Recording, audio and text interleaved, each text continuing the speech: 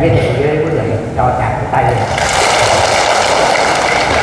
và xin giới thiệu với thầy là đây là khoảng 300 300 anh chị em trường sinh học của tỉnh Bình Dương. Và bộ đó có các tỉnh các nơi về đây để Dạ. yeah. cái buổi chia sẻ này. À, xin cho tràng pháo tay và để tiếp theo xin giới thiệu đi.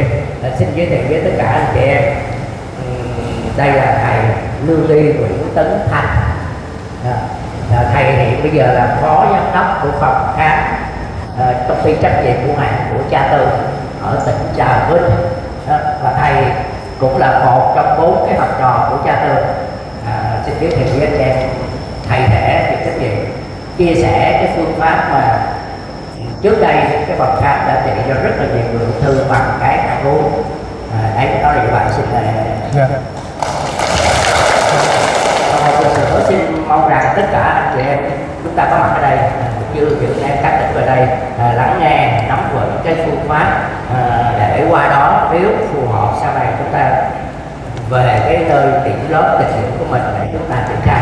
Và mong rằng anh chị em lắng nghe để tiếp nhận. Rồi là xin xin mời. Yeah.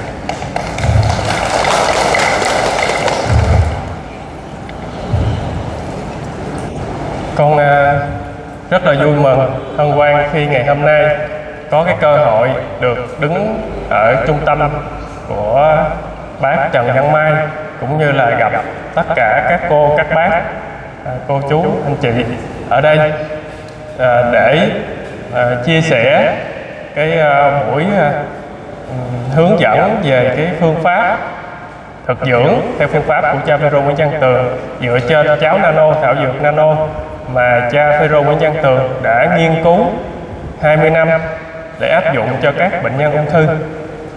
Thì con cũng xin à, tự giới thiệu một lần nữa với tất cả quý ông bà cô chú anh chị là con là lương y Nguyễn Tấn Thanh là phó giám đốc của công ty cha Tường yêu thương cho không và là một trong bốn học trò của cha.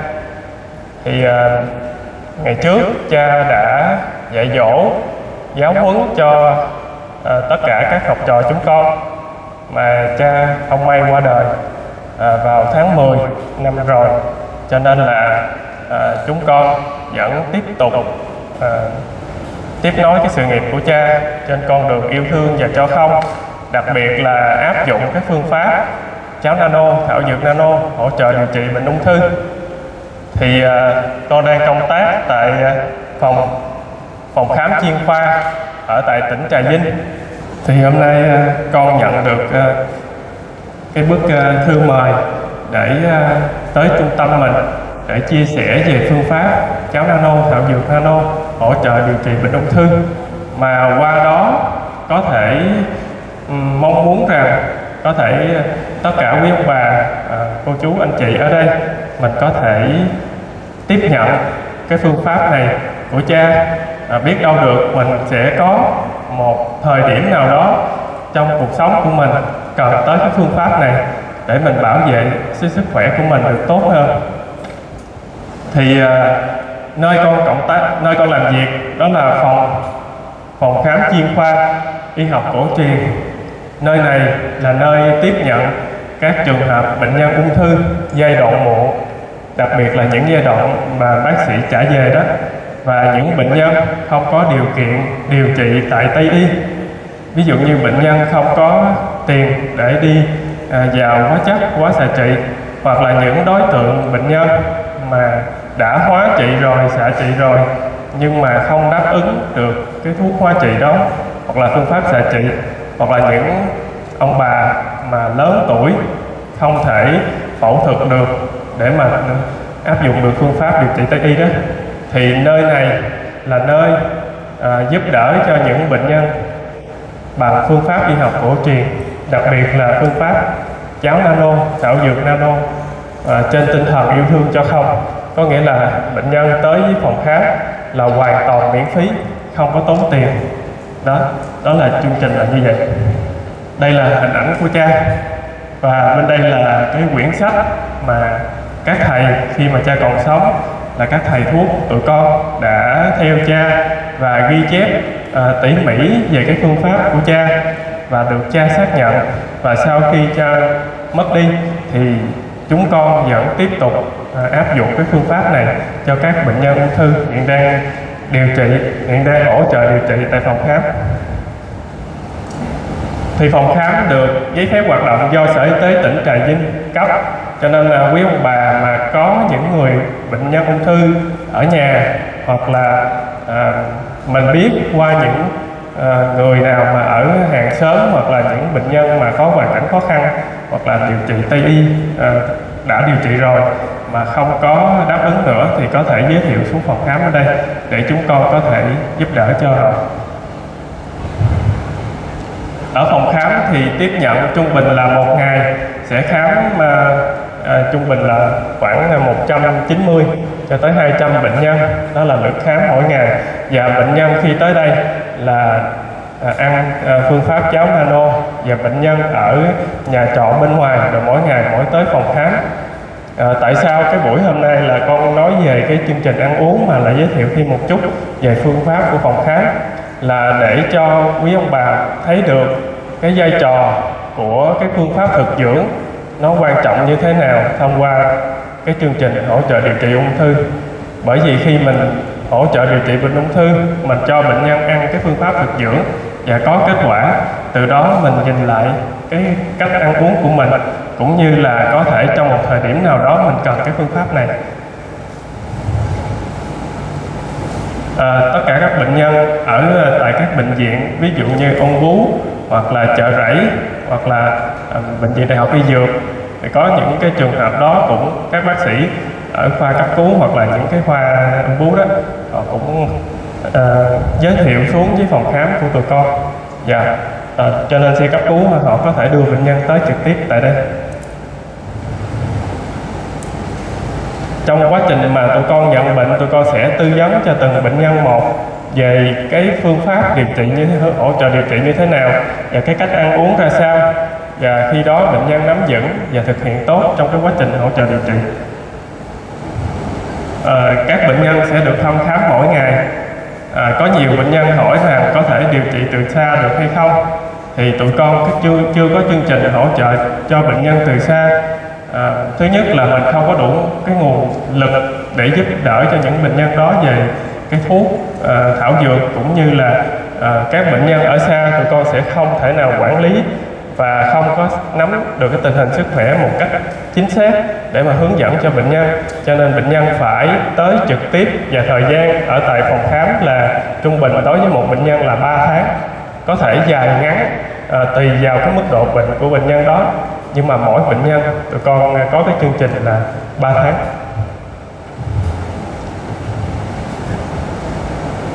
À, trong cái phòng khám thì ngoài việc hướng dẫn cho bệnh nhân còn à, cách ăn uống cách à, sinh hoạt ngủ nghỉ thì trong phòng khám còn có một khoa là khoa đắp thuốc.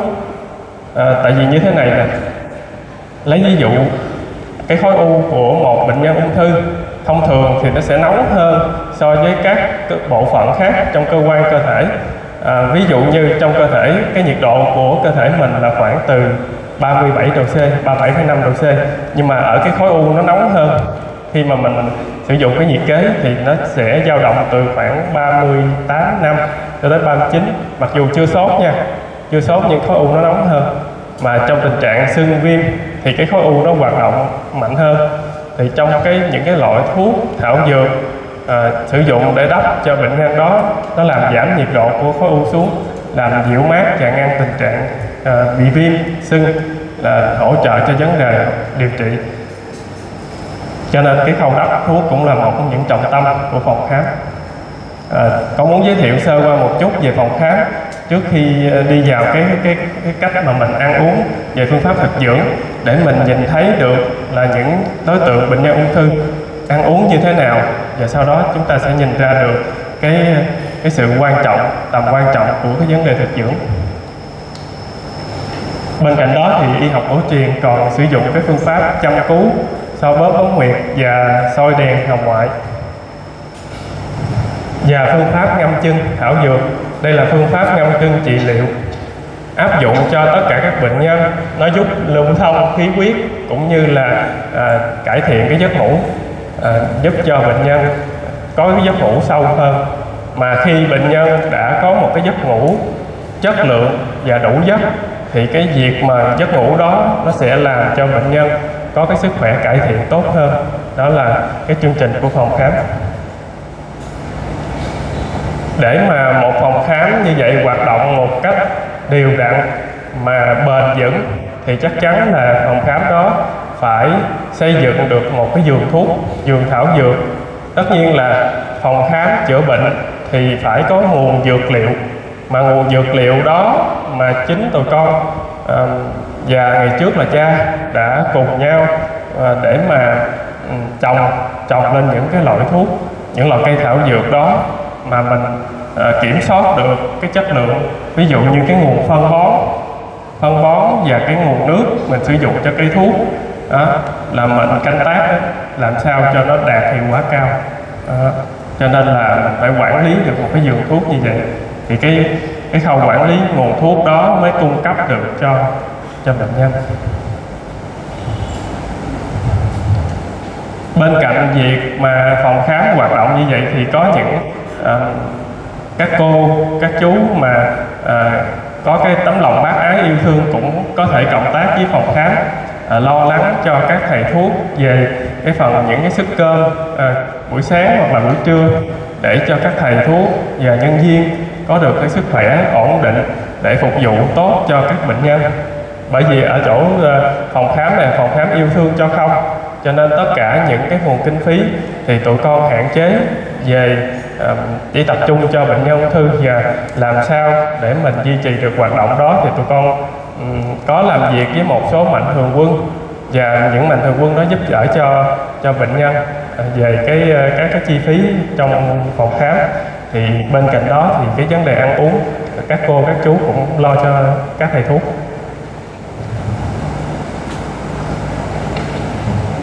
À, bởi vì phòng khám ờ, ở đây là phòng khám yêu thương và những đối tượng có những các cô các bác bệnh ung thư nhưng mà không có điều kiện điều trị tây y thì ở nơi này có các ban thiện nguyện. Ví dụ như là đây chúng ta thấy là anh phạm xuân dũng là trưởng ban thiện nguyện cũng như là truyền thông của phòng khám bên cạnh anh thành võ đang đứng ở đây. Đó chính là uh, truyền thông của phòng khám. Thì uh, trong cái khâu thiện nguyện đó à, kêu gọi kinh phí để hỗ trợ cho những bệnh nhân có hoàn cảnh khó khăn khi đến phòng khám.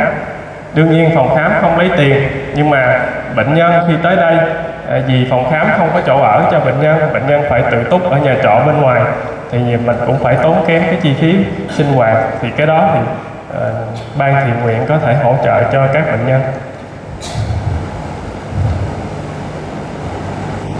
Trong cái chương trình hỗ trợ điều trị đó, thì phòng khám có phát gạo thảo dược và nước kiềm cho các bệnh nhân dùng miễn phí.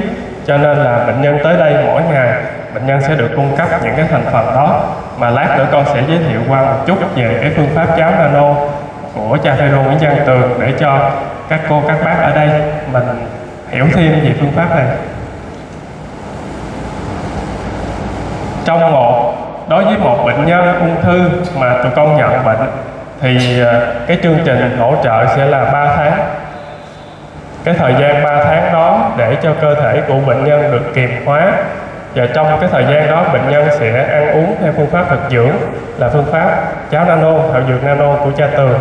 Thì sau thời gian đó, các bệnh nhân sẽ phải đi tới những cái bệnh viện lớn trong và ngoài tỉnh à, ví dụ như cái kết quả đầu tiên bệnh nhân có là bệnh nhân sẽ đã đi kiểm tra tại các bệnh viện lớn như, ví dụ như ung bướu hoặc là chợ rẫy hoặc là trung tâm medic hòa hảo xác định mình mắc căn bệnh ung thư. Và sau đó bác sĩ điều trị điều trị một thời gian không đáp ứng thuốc có thể trở về phòng khám. Nhưng phòng khám hỗ trợ điều trị và sau đó bệnh nhân phải trở về các bệnh viện lớn để kiểm tra tình hình sức khỏe của mình qua các cận lâm sàng. Ví dụ như xét nghiệm máu sinh thiết hoặc là siêu âm hoặc là CT hoặc là X quang nội soi. Đó là để mình so sánh được kết quả đầu vào và đầu ra. Vì cái công việc uh, yêu thương cho không là công việc nên làm cho tất cả bệnh nhân. Nhưng mình khi mà mình hỗ trợ điều trị thì mình phải làm một cách bài bản và có khoa học. Ừ, kết quả đầu vào đầu ra để mình đánh giá sức khỏe của bệnh nhân trong thời gian đó cũng như là dựa trên đó, đó dựa trên kết quả cận lâm sàng đó mình sẽ hướng dẫn cho bệnh nhân khi bệnh nhân trở về nhà. Cho nên là kết quả không phải là phòng khám à, công bố hoặc là à, nói với bệnh nhân đó là kết quả hôm nay tốt hơn so với ngày vô đâu. Mà tất cả những kết quả đó nó nằm trên, kết quả trên hồ sơ đầu vào và đầu ra. Mà những kết quả đó được các bệnh viện lớn kiểm tra, cũng như là bệnh nhân sẽ là người giữ cái kết quả đó. Các thầy thuốc tụi con sẽ khen một cái bảng vào trong máy tính để lưu cái hồ sơ đó và mỗi bệnh nhân sẽ có một mã số. Cho nên là khi mà bệnh nhân có đi về nhà, sau này có muốn quay lại để trích lục hồ sơ đó vẫn còn trên máy máy chủ của phòng khám và sau khi bệnh nhân hoàn thành, chương trình hỗ trợ điều trị có thể là 3 tháng hoặc dài hơn. Và có kết quả, hồ sơ đầu vào đầu ra, thì à, thầy thuốc của chúng con dựa trên các tiêu chí sau để đánh giá một kết quả bệnh nhân ung thư đã hoàn thành đạt kết quả cao. Đó là thứ nhất, là đối với bệnh nhân ung thư là mình sẽ không thấy những cái biểu hiện di căn ở các cơ quan kế tiếp ví dụ như cái bệnh lý về gan đi. Nhưng mà khi mình kiểm tra lại, mình thấy cái bệnh lý nó không tiến triển thêm và nó không di căn vào các cơ quan khác, đó là tiêu chí đầu tiên. Cái tiêu chí thứ hai là dựa trên các dấu ấn ung thư. Cái dấu ấn ung thư là có một số bệnh ung thư có dấu ấn, có một số thì không. Nhưng bệnh nào có dấu ấn ung thư thì chúng con sẽ cho làm. Cái dấu ấn ung thư dùng để tầm soát sớm bệnh ung thư, chứ không khẳng định một bệnh ung thư là hết hay là không hết nhưng mà các bác sĩ có thể theo dõi kết quả đó dựa trên cái dấu ung thư trong thời gian mà quá xạ trị đó. Thì bác sĩ cũng có thể tham khảo trên cái dấu ung thư đó. Thì ở đây phòng khám, y học cổ truyền cũng sử dụng những cái kết quả đó để dùng để theo dõi cho bệnh nhân. Ví dụ như là cái gan thì nó có cái chỉ số dấu ung thư AFP mình khi mình đi kiểm tra những cái chỉ số đó nằm trong giới hạn cho phép, hoặc là ngày trước, cao à, vượt quá à, cái cái à, chỉ số còn hiện tại là đang là ổn định. Thì đó là cái tiêu chí thứ hai. Cái tiêu chí thứ ba đó chính là cái kích thước của khối u nó nhỏ lại. Kích thước khối u nhỏ lại. Thông thường thì bệnh ung thư nó sẽ tiến triển về mặt um, di căn cũng như là kích thước của cái khối u ở khu vực mà mắc bệnh nguyên phát đó, hoặc là thứ phát nó sẽ nó sẽ càng ngày càng to ra thì ở đây mục tiêu của tụi con cho ăn cái phương pháp thực dưỡng cũng như là sử dụng những cái loại thuốc thảo dược và đắp thuốc rồi chăm cứu bấm huyệt rồi à, ngâm chân. Thì trong thời gian đó có những cái khối u nó nhỏ lại. Đó, đó là cái tiêu chí mà phòng khám cho bệnh nhân à, đã hoàn thành chương trình hỗ trợ điều trị. Đương nhiên thì cũng sẽ có những bệnh nhân không thể vượt qua được căn bệnh của mình vì, bởi vì cái giai đoạn là giai đoạn muộn. Cho nên là chúng con cố gắng hết sức trong cái khả năng có thể. Và tổng hợp lại những điều đó để nhìn thấy được cái vai trò của thực dưỡng nó như thế nào, nó quan trọng ra sao đối với sức khỏe của mình. Cho nên hôm nay con đứng ở đây, con rất là vui mừng khi có dịp mà được trao đổi, chia sẻ cùng với các các ông, các bà, các cô, các chú ở đây. Ờ, con thấy mọi người rất là may mắn. Thật sự là may mắn hơn nhiều so với những bệnh nhân ung thư. Bởi vì mình, hiện tại mình còn khỏe, mình chưa có bệnh. Nhưng mà không phải là mình sẽ vĩnh viễn không có bệnh. Cái bệnh lúc nào nó cũng có tiềm ẩn, nó xảy ra đối với từng bệnh nhân, đối với từng người một. Ai cũng vậy hết. Mỗi người khi mà, nếu như mình có điều kiện, mình, bản thân mình đi, và kiểm tra cái bản đồ gen của mình thì có thể sẽ phát hiện ra một số cái bệnh tiềm ẩn. Hiện tại giờ Vinmed hình như là Vinmed Nha Trang đã có cái dịch vụ là uh, kiểm tra cái uh, cái bệnh lý tiềm ẩn trên gen đó không biết là chính xác hay không nhưng mà nếu như phương pháp đó mà áp dụng được thì mình sẽ biết được trong cơ thể mình có sẽ có những cái nguy cơ của những cái bệnh nào. Ví dụ như ông bà cha mẹ có những cái căn bệnh tiểu đường hoặc là bị cao huyết áp thì tới phiên cái sức khỏe của mình mình cũng có thể sẽ rất dễ mắc những căn bệnh này hoặc là căn bệnh ung thư. Cũng có thể là một số loại ung thư mình dễ mắc hơn so với những loại khác. Là để mình kiểm tra sớm cái tầm soát ung thư. Nhưng mà cho dù là tầm soát sớm được bệnh ung thư đi chăng nữa quan trọng nhất vẫn là ngừa phòng ngừa. Ở đây á, phòng khám của tụi con phòng khám ờ, của cha tường và các thầy đó là hỗ trợ điều trị bệnh ung thư bằng y học cổ truyền. À, khi mà mình mắc bệnh ung thư mình có hai có hai phương pháp thôi. À, nhưng mà phương pháp chính là điều trị phương pháp điều trị là mình tới bệnh viện mình có thể à, phẫu thuật xạ trị hóa trị. Đó là phương pháp điều trị bệnh. Còn y học cổ truyền không có chức năng điều trị bệnh y học cổ truyền chỉ có chức năng hỗ trợ điều trị bệnh mà thôi. Và y học cổ truyền không thay thế cho phương pháp điều trị bệnh tại Tây y. Cho nên à, chúng con không có à, kêu gọi những bệnh nhân à, mắc bệnh ung thư là mình điều trị mình hỗ trợ điều trị bằng y học cổ truyền mà nên điều trị điều trị. Rồi nếu như mà trong trường hợp mình điều trị không được hoặc là không có hiệu quả hoặc không có điều kiện điều trị thì mình có thể cân nhắc đến y học cổ truyền. Đó là như vậy. Và thời gian vừa qua chúng con cũng có đi dự một số hội thảo uh, về ờ, khoa học cũng như là chia sẻ về các phương pháp thực dưỡng. Thì cũng được các nhà khoa học trong và uh, ngoài nước đã đồng tình về cái phương pháp này của cha. Cho nên là con cũng một phần nào đó con cũng tự tin để mà chia sẻ cái những gì cha đã nghiên cứu cho tất cả quý ông bà đây chính là hình ảnh của cha à, và đã được viết trên ờ, quyển sách là ứng dụng cháo nano thảo dược nano hỗ trợ điều trị bệnh ung thư và cuốn sách đó đã được à, xuất bản năm 2020 của Hội luật Gia do nhà xuất bản Hồng Đức. Thì đó là cái chương trình chữa bệnh, hỗ trợ điều trị bệnh tại ờ, Trà Vinh là quê hương của cha Phêrô Nguyễn Văn Tường và tụi con. Chúng con là những học trò của cha.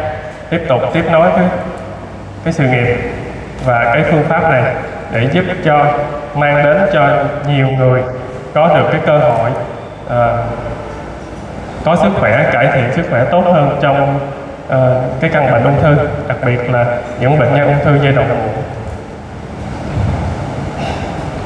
bây giờ uh, thông qua cái chương trình mà hỗ trợ điều trị bệnh ung thư đó thì chúng con chính là những người uh, nhận ra được cái vai trò của thực dưỡng nó quan trọng như thế nào. Khi mình khỏe mạnh á thì mình cảm thấy mình ăn cái gì cũng được. Mình thấy mình khỏe mình ăn cái gì cũng không sao hết nhưng khi mà mình bệnh rồi, mình mới thấy cái vấn đề ăn uống nó mới quan trọng. Ăn uống nó sẽ quan trọng khi mà mình đã mắc một cái căn bệnh nào đó. Đặc biệt là đối với những bệnh nhân ung thư, khi đến phòng khám là những các cô, các bác đó đó, cái quyết tâm sống của họ rất cao. Có nghĩa là họ mong muốn làm sao có được sức khỏe thôi.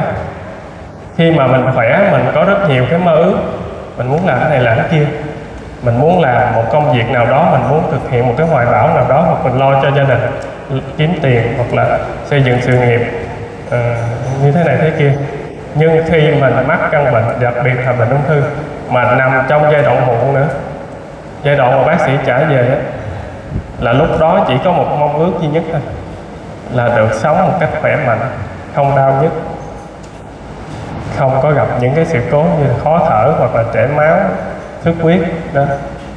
Vậy thì khi đó mình mới nghĩ đến vấn đề ăn uống, mình mới suy nghĩ tới những vấn đề chăm sóc sức khỏe. Và ngày hôm nay con thấy các cô các bác ở đây ừ, mình có mặt ở đây để mà mình ngồi thiền và mình tập dưỡng sinh. Cái điều đó con rất mừng, bởi vì mình có cái sự quan tâm nhất định đối với sức khỏe của mình.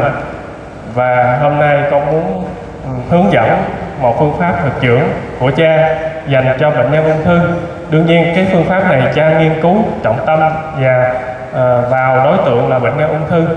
Nhưng có thể mình uh, nghe cái phần hướng dẫn trình bày của con xong có thể mình có thêm một cái phương pháp nữa để khi cần thiết mình sẽ áp dụng cái phương pháp này trong cái chế độ ăn của mình nó cũng sẽ giúp cho mình trong một cái giai đoạn nào đó hoặc là nó cải thiện tốt hơn về mặt sức khỏe. Ví dụ như mình thấy trong người mình có có những cái vấn đề phân loại sức khỏe. À, bộ y tế có năm phân loại đối với những đối tượng khác nhau. Để chi? Để ờ, ví dụ như mình đi ờ, mình đi khám sức khỏe đi để mình đi làm thì cũng sẽ được đánh giá vào năm phân loại này. Và mình khám ví dụ quân sự mình cũng phải dựa trên năm cái phân loại này. Thì tất cả các um, kết quả khi mà mình đi kiểm tra sức khỏe và các bác sĩ sẽ đánh giá sức khỏe của mình nó có những bệnh lý nào thì để sắp xếp vào trong cái hạng mục sức khỏe đó. Ở đây có 5 loại phân loại 5 loại loại 1 cho tới loại 5 bây giờ con đi ngược từ dưới đi lên nha bây giờ sức khỏe loại 5 là mắc các bệnh lý nghiêm trọng và suy giảm các chức năng nặng nề tới đối với cơ thể ví dụ như ung thư đặc biệt là ung thư giai đoạn muộn. Ảnh hưởng của ung thư đối với sức khỏe tùy vào từng bộ phận cơ quan mà căn bệnh ung thư đó nó, nó nguyên phát và nó thứ phát nó sẽ ảnh hưởng tới sức khỏe của bệnh nhân đó. Ví dụ như ung thư phổi di căn lên não. Vậy thì cái sức khỏe của bệnh nhân đó đang gặp một bệnh lý rất là nghiêm trọng ảnh hưởng tới sức khỏe cả về chức năng chức năng phổi và não bộ và là các dạng ung thư khác. Thì tất cả những cô bác đó, sẽ được xếp vào sức khỏe loại thứ năm. Và loại này là loại nhóm à, đối tượng này là đối tượng mà cha Phêrô Nguyễn Văn Tường hướng tới và tìm ra cái phương pháp phù hợp về chế độ ăn để cải thiện được sức khỏe. Cái nhóm thứ tư đó là sức khỏe loại tư mức độ sức khỏe dưới trung bình. Mức độ này à, mắc một số các bệnh mà mãn tính nghiêm trọng à, nhưng mà nó sẽ nhẹ hơn loại năm. Ví dụ như là mình mắc các căn bệnh như tiểu đường hoặc là cao huyết áp. Ở tầng dưới thì có những à, một số các bệnh nhân mà đã bị tai biến mà vỡ mạch máu não mà hồi phục rồi đó. Còn ở tầng thứ 4 thì chưa chưa có bị vỡ nhưng mà mình vẫn phải theo sát cái vấn đề đó hoặc là bệnh gút đó, hoặc là mình bị suy thận chạy thận. Sức khỏe loại 3 là sức khỏe ở mức trung bình. Trung bình là khi mà mình mắc một số cái căn bệnh ví dụ như là viêm gan hoặc là mình vừa chữa khỏi bệnh lao rồi đó ở trong, trong nhóm này. Và một số các cái loại bệnh ví dụ như là men gan cao hoặc là mỡ máu trong người mình có mà mình vẫn phải uống thuốc tây đều đặn đó thì nằm trong nhóm này. Sức khỏe loại 2 là sức khỏe tốt mình khỏe mạnh nhưng mà mình có một số các cái căn bệnh nào đó nhất định trong người ví dụ như nang gan hoặc nang thận hoặc là sỏi thận sỏi mật.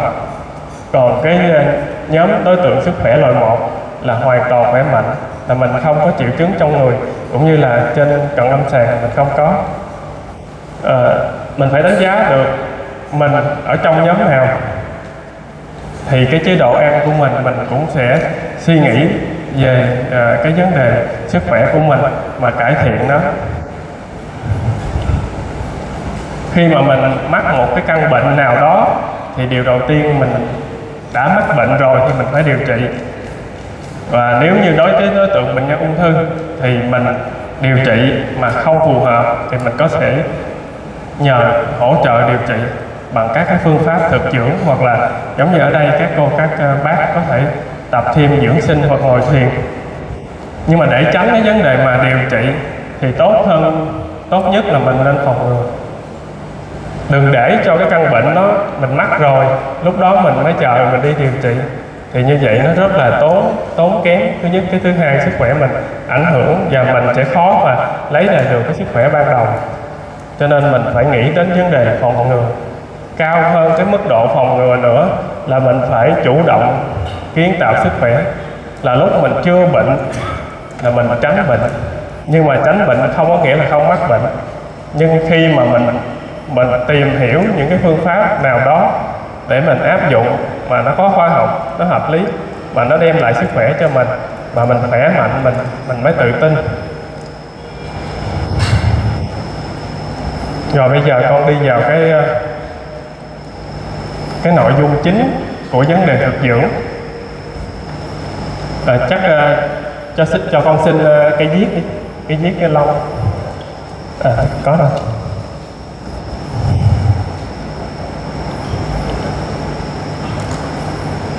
Như à, vừa rồi con mới trình bày đó là chương trình khám bệnh của phòng khám cũng như là cái cái sức khỏe của mình. Mỗi người tự nhìn thấy cái sức khỏe mình như thế nào tự mình bảo vệ. Bản thân mỗi người chính là thầy thuốc thầy thuốc của chính mình. Thì mình mới là người quan trọng nhất trong vấn đề bảo vệ sức khỏe của mình.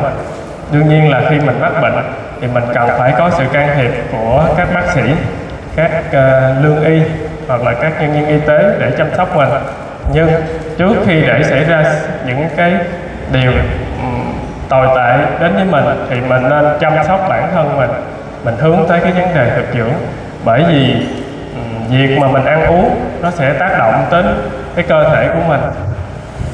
À, những năm về trước á những năm về trước á thì cái chuyện mà thiếu lương thực thì mắc các căn bệnh à, do cái suy dinh dưỡng là rất là phổ biến đặc biệt là à, các nước châu phi. Và trong đó kể cả Việt Nam cũng có những cái thời giai đoạn mà chắc có lẽ là giai đoạn đó thì con cũng chưa sinh ra đời. Nên thành thử đây con cũng không dám uh, chia sẻ vấn đề đó. Tại vì con cũng nghe kể thôi. Của những năm 80 đó thì thời kỳ bao cấp đó. Nhưng mà thời điểm hiện tại nè Việt Nam là nước xuất khẩu lương thực ra các nước trong khu vực cũng như là các nước trên thế giới. Thì cái việc mà cái lương thực của của quốc gia Việt Nam của Việt Nam mình đó là không thiếu nha. Không hề thiếu mình có nhiều lương thực đủ để à, người dân sử dụng. Cho nên cái việc mà suy dinh dưỡng thì nó nó sẽ hiếm hơn. Và cái vấn đề mình bị dư thừa ăn uống mà nếu như mình không có kiểm soát mình sẽ bị uh, mắc các căn bệnh do rối loạn và dư thừa hơn là những căn bệnh bị thiếu. Vậy thì mình phải có một cái mức độ khó nhất định đối với những thực phẩm mà mình ăn vào nha. Khi mình khỏe mạnh thì mình nghĩ là mình ăn gì cũng được nhưng tới khi mình bệnh mình mới thấy cái tầm quan trọng của nó. Vậy thì trước khi mình bệnh mình phải có một cái nguyên tắc dành cho mình. Bản thân của mỗi người ở đây con không hướng tất cả các à, quý ông bà cô bác theo cái phương pháp của cha để mà mình ăn. Ở nhà mình tập trung mình ăn như thế đâu nhưng mà mỗi người sẽ tự xây dựng cái chế độ ăn riêng của mình tùy thuộc vào cái bệnh tình của mình. Mình đang có những bệnh nào nằm hồi nãy con giới thiệu là năm cái phân loại đó thì mỗi một cô bác có thể tự xem xét mình coi mình mình đang ở mức độ nào và cái bệnh đó là bệnh gì. À, bác sĩ dặn mình ăn uống như thế nào ở nhà thì mình phải chú ý. Và mình phải nghiên cứu thêm một số loại phương pháp uh, y học cổ truyền uh, có những cái loại phương pháp thực dưỡng áp dụng kèm theo đó. Thì ở đây con muốn giới thiệu một cái vấn đề đó là axit kèm. Cái này rất là quan trọng đối với uh, sức khỏe của từng người một mà đặc biệt bởi vì uh, với góc độ là thầy thuốc uh, hỗ trợ điều trị bệnh ung thư con nhìn thấy cái vấn đề này rất là quan trọng.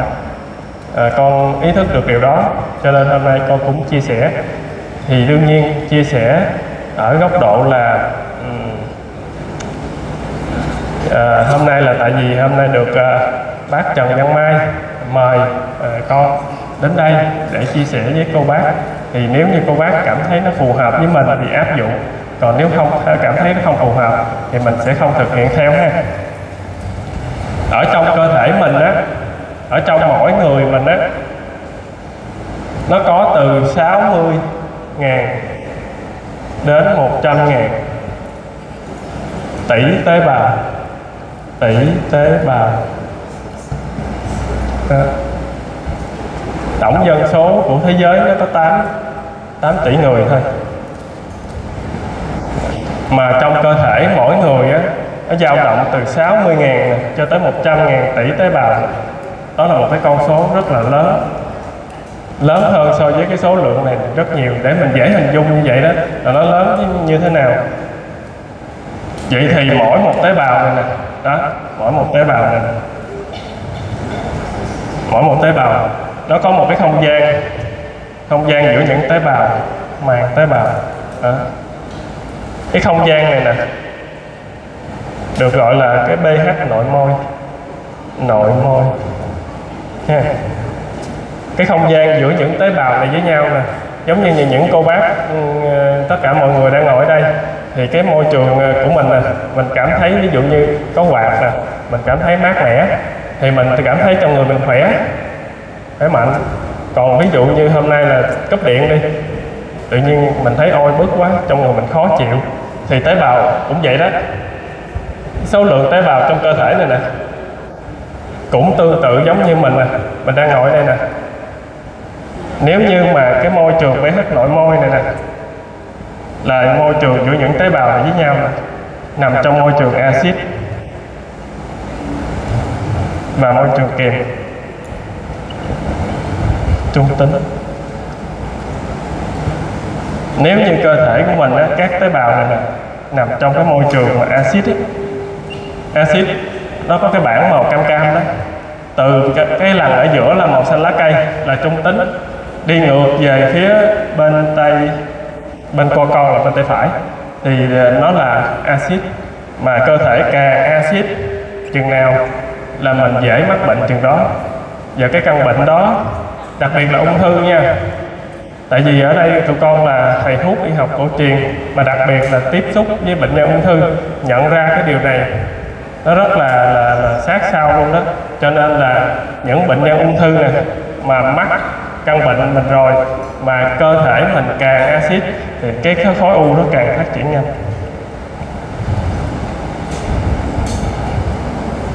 Con dùng cái hình ảnh à, dùng cái kinh nghiệm cũng như là về cái góc độ chuyên môn của mình á để chia sẻ với tất cả mọi người ở đây. Và mong muốn sẽ được học hỏi thêm. Còn cái tế bào ung thư nó sẽ được khống chế trong môi trường kiềm kể cả mình không mắc bệnh ung thư cũng vậy. Bác sĩ cũng khuyên rằng mình, cơ thể mình nên kiềm hóa. Đi qua đây nè, đi ngược về hướng này. Có nghĩa là đi từ từ ở giữa đó, đi ngược về hướng bên phải đấy, là axit hóa. Ha, axit hóa. Còn đi ngược về hướng bên tay trái là kiềm hóa.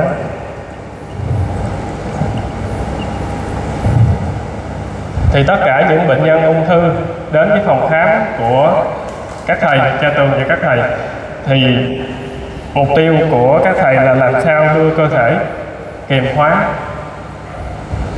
kiềm hóa kiềm hóa này mới khống chế được tế bào ung thư. Mặc dù là kiềm hóa không có nghĩa là nó sẽ dừng ung thư nha. Nó vẫn có một mức độ nhất định nó phát triển nhưng ít nhất nó khống chế tốt hơn so với việc mà mình cho bệnh nhân ăn tự do ví dụ như để một bệnh nhân đó ăn uống tự do không kiểm soát ấy, thì cái bệnh nó sẽ phát triển rất nhanh. Còn khi mà áp dụng cái cái phương pháp kiềm hóa đó thì cái ít nhất cái tốc độ nó dừng lại. Tốt hơn nữa là nó đứng lại. Tốt hơn nữa là nó giảm. Bởi vì con có những cái kết quả mà con đang nắm trong tay à, về à, hồ sơ đầu vào đầu ra con mới mạnh dạng con nói như thế. Thì à, cho nên là à, khi mà mình chưa mắc bệnh ung thư thì điều đó là điều may mắn cho tất cả quý ông bà cô bác ở đây. Nhưng mà mình phải à, dựa trên những cái kết quả này bởi vì cơ thể của mình là cơ thể của một loài duy nhất. Nhớ nha mình ở đây đông như vậy đó nhưng mà chỉ là một loài duy nhất thôi là homo sapien một loài duy nhất thôi cho nên thì cái cơ thể của mình cái cấu tạo của mình cái sinh lý của mình tất cả những cái bộ gen đó, nó là chỉ là một thôi. Cho nên là những bệnh nhân ung thư như thế nào thì mình dựa vào đó mình nhìn thấy đi. Rồi để mà mình có thể rút kinh nghiệm cho mình và định ra cái phương pháp án điều à, chăm sóc sức khỏe mình tốt hơn.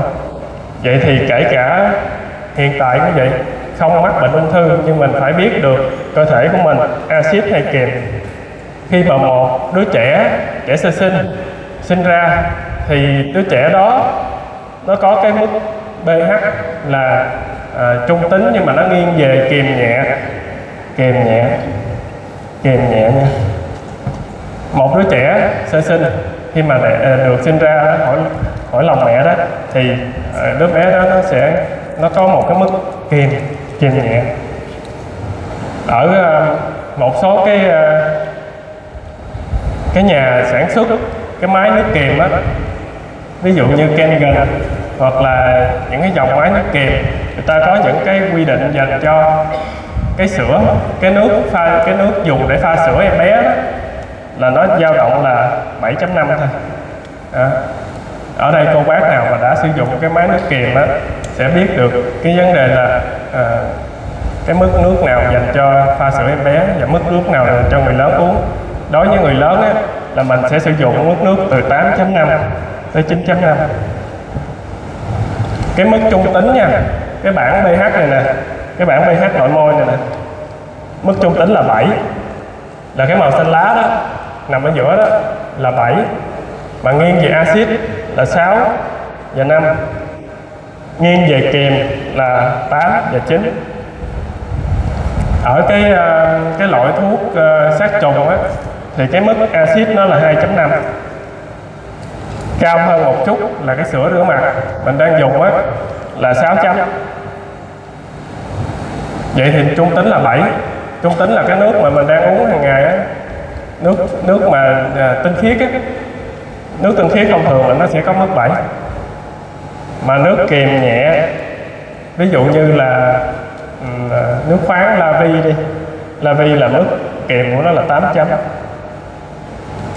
vậy thì có một số nước sử dụng uh, uh, nước kiềm cao hơn chút là 8.5 đến 9.5 đây là mức nước dành cho người lớn mình uống và các bệnh nhân ung thư uh, ở phòng khám của cha tường cho các thầy cũng đang áp dụng cái mức nước này là mức 8.5 đến 9.5 còn nếu mà cao hơn nữa 11 chấm 1.5 hay gì đó là nước này là nước để rửa rau.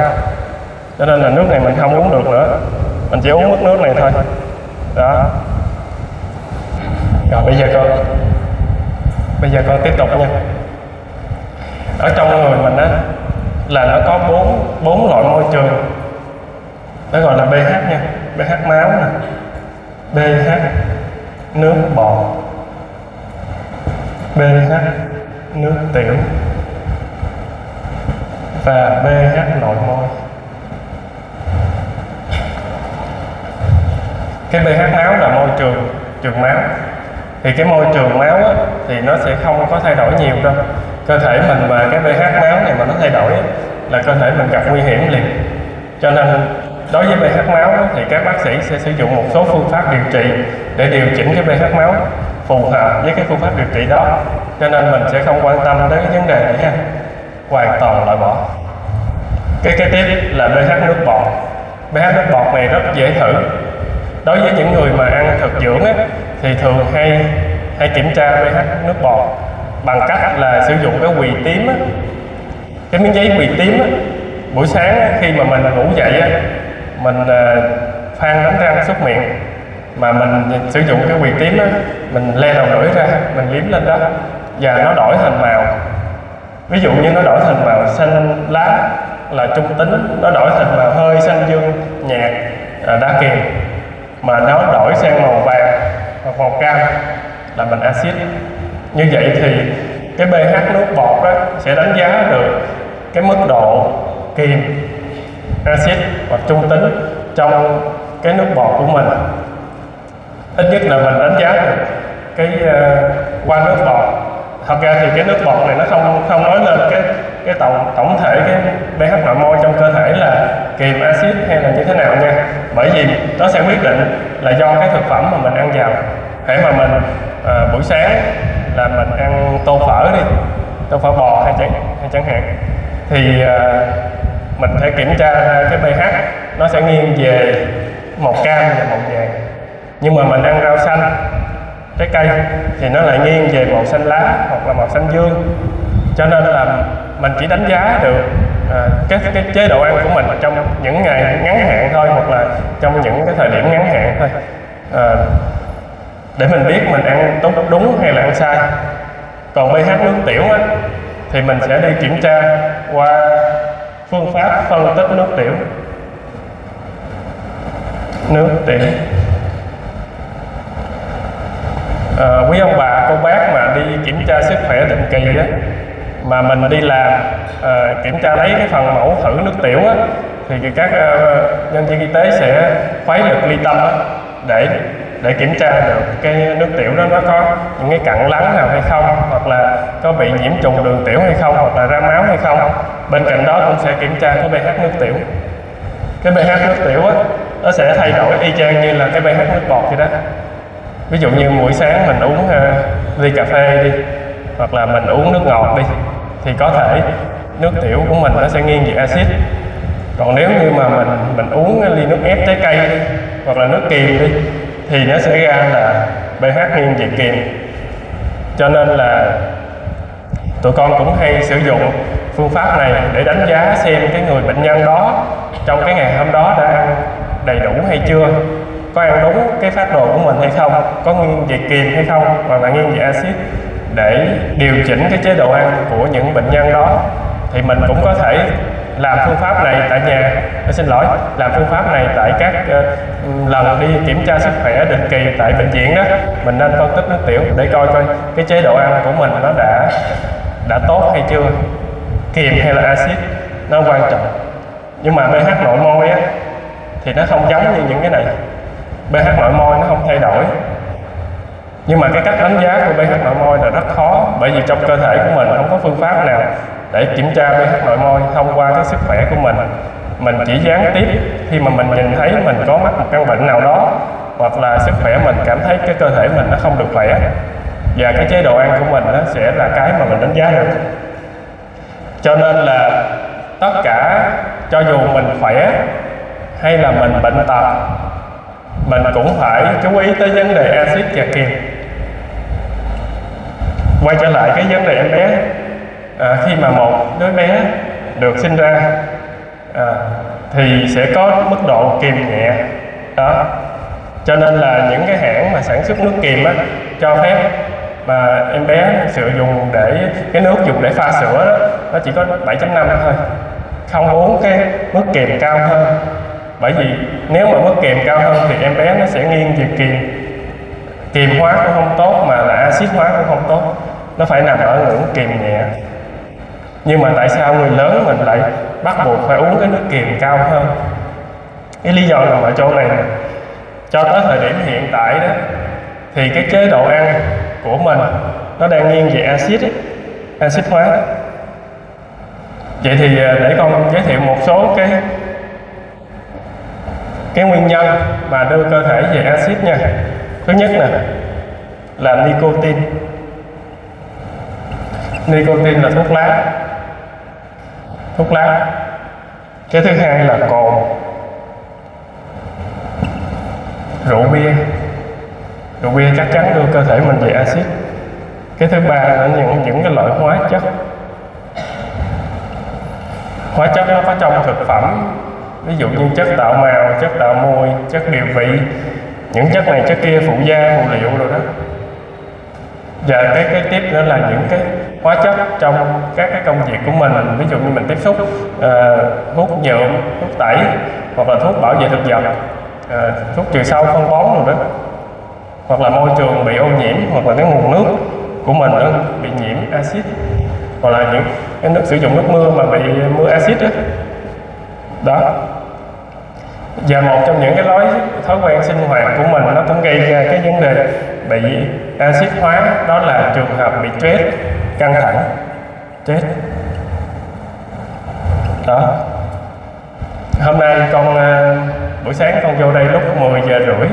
Thì giờ lúc đó là có một cái khóa học trước đó. Và buổi trưa chút, mình cũng đang ngồi thuyền thì con thấy đây là một cái cách giải stress rất là hiệu quả khi mà mình ngồi thuyền cái việc mà mình ngồi thiền như thế này, nó làm cho cái đầu óc tinh thần của mình nó nhẹ nhàng, nó cởi bỏ những cái gánh nặng trong cuộc sống mình đi và những cái căng thẳng và stress đó nó là nguyên nhân đưa cơ thể mình axit vậy thì ngồi thiền và tập những cái dưỡng sinh nó giúp cho cái tinh thần và cái suy nghĩ của mình nó được cởi bỏ nó được nhẹ nhàng hơn.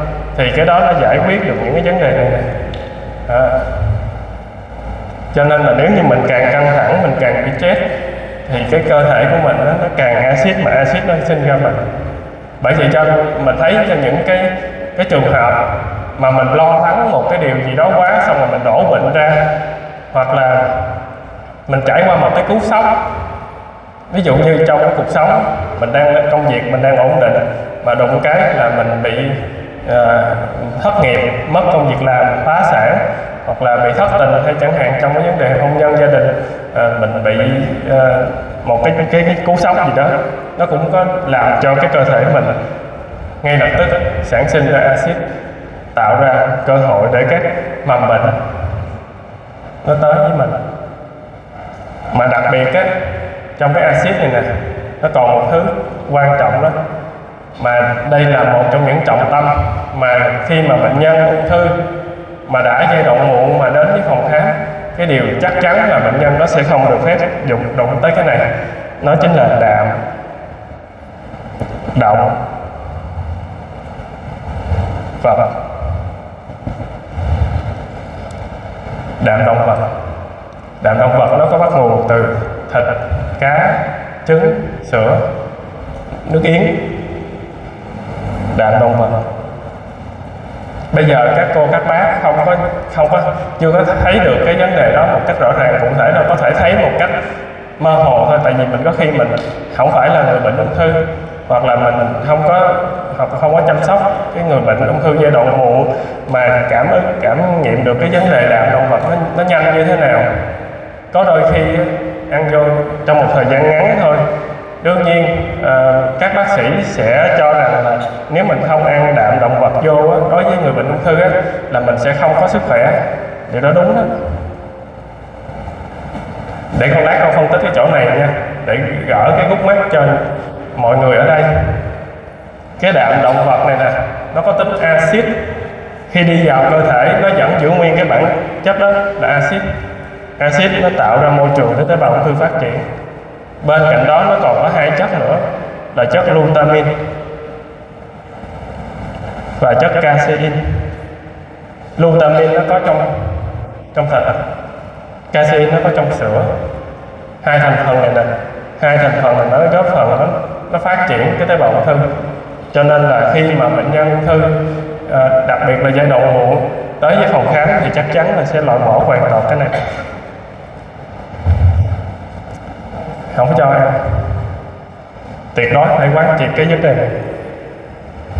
Vậy thì tại sao bác sĩ lại cho ăn mà phương pháp y học cổ truyền phương pháp điều trị tại tây y? Thì không giải thích ờ, cái vấn đề một chút nha. Tại sao bác sĩ lại cho ăn bây giờ lấy cái bệnh lao đi, và bệnh ung thư đi. Mình sẽ thấy rất là rõ cái vấn đề này. Đối với bệnh lao á, ở đây chắc có lẽ là các cô, các bác biết bệnh lao là thời gian điều trị bao lâu? Hả? Mấy tháng? 6 tháng. 6 tháng đó mình mình uống thuốc liên tục hay là có ngưng không? Uống thuốc liên tục. 6 tháng uống liên tục phương pháp đó gọi là phương pháp đếm nhịp. Uống liên tục 6 tháng. Vậy là mỗi ngày mỗi uống. Nhưng ung thư á, ví dụ như ví dụ quá chắc đi. Ở đây chắc có lẽ cũng sẽ có một số người có gia đình là có bệnh nhân ung thư. Vô được lần đầu thì bao lâu vô được lần hai? Ba tuần 21 ngày. 21 ngày 21 ngày. Vậy tại sao không vô mỗi ngày? Hả? Không giải quyết hả? Chưa thuyết phục. Còn một lý do nào khác ví dụ như giờ, giống như bệnh lao đi. Bệnh lao là uống thuốc mỗi ngày. Mà tại sao ung thư không giải quyết được mỗi ngày? Không không có vô thuốc mỗi ngày được. Vì nó độc. Bởi vì nó độc. Mỗi một lần vô như vậy là bác sĩ cũng coi sức khỏe của bệnh nhân, kiểm tra sức khỏe bệnh nhân đủ điều kiện mới cho vô thuốc, chứ không phải là muốn vô là vô. Sức khỏe của bệnh nhân có khi mà vô thuốc mà yếu quá là có thể chết trên bàn xạ trị, hóa trị đó. Vậy thì bởi vì nó độc. Nó độc đối với tế bào ung thư. Ví dụ như khi mà áp dụng cái lần đầu tiên đi vô quá chắc đi, có thể 80 phần trăm tế bào ung thư đó nó có thể tiêu diệt hoặc là 90 phần trăm hoặc là 95 phần trăm là khống chế được bệnh lý ung thư nhưng còn 5 phần trăm. 5 phần trăm là vẫn còn tồn tại trong cơ thể chưa giải quyết được hết. Nhưng mà nó độc cho tế bào ung thư nó đồng thời nó độc cho tế bào lành tế bào mà không bị bệnh ấy, cơ thể của mình ấy, nó ảnh hưởng tới hệ miễn dịch. Vì nó vừa độc cho tế bào ung thư vừa độc cho tế bào lành và nó đòi hỏi cái thời gian hồi phục lại để mình vô thuốc lần kế. Vậy thì chỉ có đạm động vật nó mới giải quyết được cái bài toán đó thôi. Có nghĩa là khi mình ăn đạm động vật này mình mới khỏe nhanh. Mình ăn nó đó tế bào lành này là nó mới hồi phục nhanh. Để mình vô thuốc được lần thứ hai và mình vô thuốc được lần thứ ba. Vậy thì cái việc mà bác sĩ đề nghị mình phải ăn cái này là bị lệ thuộc vào nó đó. Có nghĩa là không ăn thì không có cách nào để mình hồi phục nhanh để vô quá chất lần kế nhưng đồng thời khi mình ăn cái này nè, nó cũng là nguồn nuôi cho tế bào ung thư hình dung được chưa? Vậy thì cái điều gì kế tiếp xảy ra? Là trong những lần vô lần, những lần kế tiếp á, ba, bốn năm nó sẽ làm hạn chế cái cái tế bào ung thư này nè, nó còn tồn tại, nó sẽ thích nghi với cái loại thuốc hóa chất đó. Và nó được nuôi sống bởi cái này. Như vậy thì nó dẫn đến tình trạng gì? Kháng trị. Kháng trị. Cái từ kháng trị là từ y khoa. Kháng trị nói đến tế bào ung thư. Khi nó kháng thuốc rồi, thì những lần sau mình cũng vô thuốc như những lần đầu đó, nhưng mà nó sẽ giảm bớt cái tác dụng của thuốc. Hóa trị. Tại vì ở đây tụi con nhận bệnh ung thư giai đoạn muộn và đặc biệt là những bệnh nhân bác sĩ trả về. Cho nên là hóa chất vô rồi trong những thời gian đầu và nó nó phát huy rất là tốt bệnh nhân không có thấy triệu chứng gì ngoài cái việc ói, hoặc là chóng mặt nhức đầu, hoặc là buồn nôn, đi tiêu chảy. Nhưng mà những lần sau vô thuốc thì vẫn bị, nhưng mà cái cái khối u nó vẫn phát triển lên. Mà bác sĩ nói thôi, giờ đi kiếm thuốc nam uống đi. Như vậy thì trong những trường hợp đã kháng trị là do không giải quyết được triệt để này nè. Nếu như mà cái thuốc hóa chất mà nó an toàn, mà nó không độc áp dụng được mỗi ngày thì có lẽ tế bào ung thư mình cũng giải quyết được nó rồi. Nhưng mà hiện tại chưa có cái loại nào mà nó mặc dù những loại sau này nó nó giảm bớt cái, cái thiệt hại cho cơ thể của mình nhưng mà vẫn là độc nó vẫn không thoát được cái cái chỗ này. Cho nên là cái vấn đề mà bác sĩ đề nghị mình ăn cái này là nó có cơ sở. Và bắt buộc mình hãy mà quá xạ trị phẫu thuật và điều trị tây y chắc chắn là mình phải áp dụng cái này rồi nhưng ở đây y học cổ truyền á, là nhận những bệnh nhân ung thư giai đoạn muộn. Bác sĩ trả về đã không còn vô quá chất nữa, phẫu thuật cũng không, xạ trị cũng không. Vậy thì mình đâu cần phải hồi phục nhanh. Và mình cũng né được cái đạm động vật để tránh được axit. Nhưng mà một điều ờ, kế tiếp nè. Nếu như mình không ăn đạm động vật, mình sẽ thiếu chất bác sĩ nói đúng chứ không sai đâu. Ở đây có cái độ văn bản trong cái sinh con à, con thấy cái khăn à. à, rồi rồi con lấy cái này.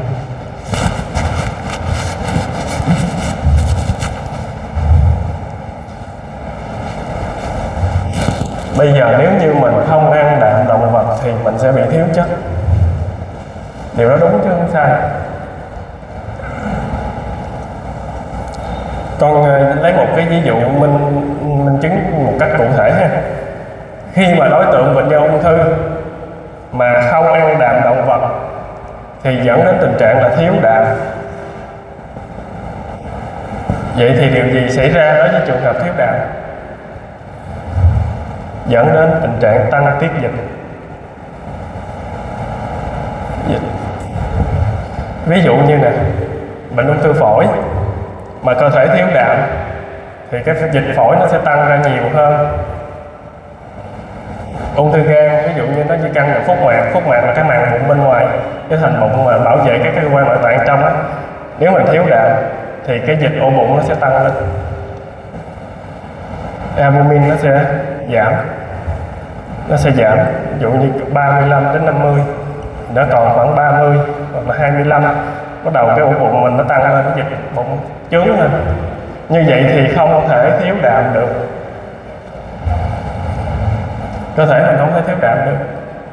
Bác sĩ mà đi mà nghe nói bệnh nhân mà đi đi mà ăn chay á, mà nghe nói thiếu đạm á, bác sĩ la dữ lắm.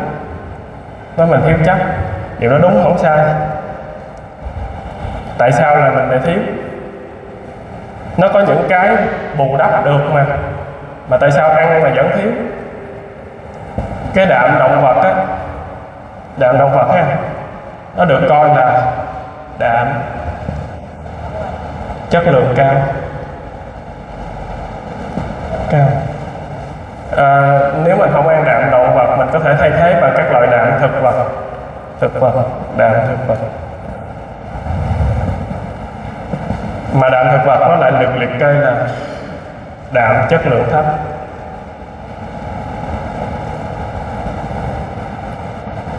Bởi vì sao? Bởi vì cái cái cấu tạo protein của con người á protein á, của con người á thì cái đạm động vật này nó có cấu trúc tương tự như của con người. Nên khi mà ờ, các cô bác mà mình đi làm làm những công việc mà ngoài trời ngoài nắng đi mình mệt lắm nhưng mà mình ăn cơm với cá với thịt tự nhiên mình thấy mình khỏe. Lý do là cái đạm động vật này nó có cấu trúc trúc protein nó giống như cấu trúc của người mình cho nên ăn vô là khỏe liền. Còn riêng đạm thực vật á cái cấu trúc nó tên là đạm động vật nhưng mà cái cấu trúc của nó nó khác biệt so với cơ thể con người mình nhiều dữ lắm. Nên khi mình ăn cái này nè chưa chắc mình đã đủ mà cái thời gian đó, nó nó để nó tổng hợp thành cái đạm của con người nó lâu hơn. Có 20 axit amin min trong cơ thể cái đạm động vật có thể nó cung cấp gần như gần đủ cái, cái số lượng này cho cơ thể nhưng cái đạm thực vật á nó sẽ cung cấp ít hơn. Khoảng ba bốn có khi một hai nữa. Cái protein nó phân tách lên những axit amin nó ít hơn. Ví dụ như cái này là 20 đi cái này thì 19 17 18 gì đó. Còn này nó khoảng 56 hoặc là 4 gì đó. như vậy thì đòi hỏi mình phải ăn đạm thực vật phải ăn đa dạng đa dạng. Đa dạng có nhiều nhiều loại. Chứ không lệ thuộc vào một loại nào. Ví dụ như đạm thực vật, từ nấm, từ đậu và từ hạt. Đó. Ba nhóm này là ba nhóm chính của đạm thực vật. Mà nếu mình không ăn đa dạng, mình ăn đậu hũ, hoặc là đậu nành, hoặc là đậu xanh đậu phộng gì đó, mình ăn liên tục những thứ đó hoặc là mình mua những cái loại sữa hạt về mà mình chỉ uống cái thứ đó thôi để bù lại cái vấn đề thiếu đạm. Như vậy thì nó sẽ không đủ. Mà nó đòi hỏi mình phải đa dạng hóa tất cả những thực phẩm. Bởi vì cơ thể của con người mình là cơ thể của loài động vật ăn ăn đa dạng. À, mà đặc biệt là các loại nấm đậu hạt này mình phải ăn đa dạng mình mới được đủ được cái nguồn protein. Về lâu về dài nha. Về lâu ở đây đôi khi ờ, con hướng dẫn nó, nó có những cái nó hơi ờ, lâu quá. Cho nên thì ví dụ như mình, mình có thấy có mệt thì mình cứ nghỉ ngơi hoặc là đi toilet gì đó. Tại vì con sẽ hướng dẫn một cách xuyên suốt luôn. Chứ con không có dừng nha.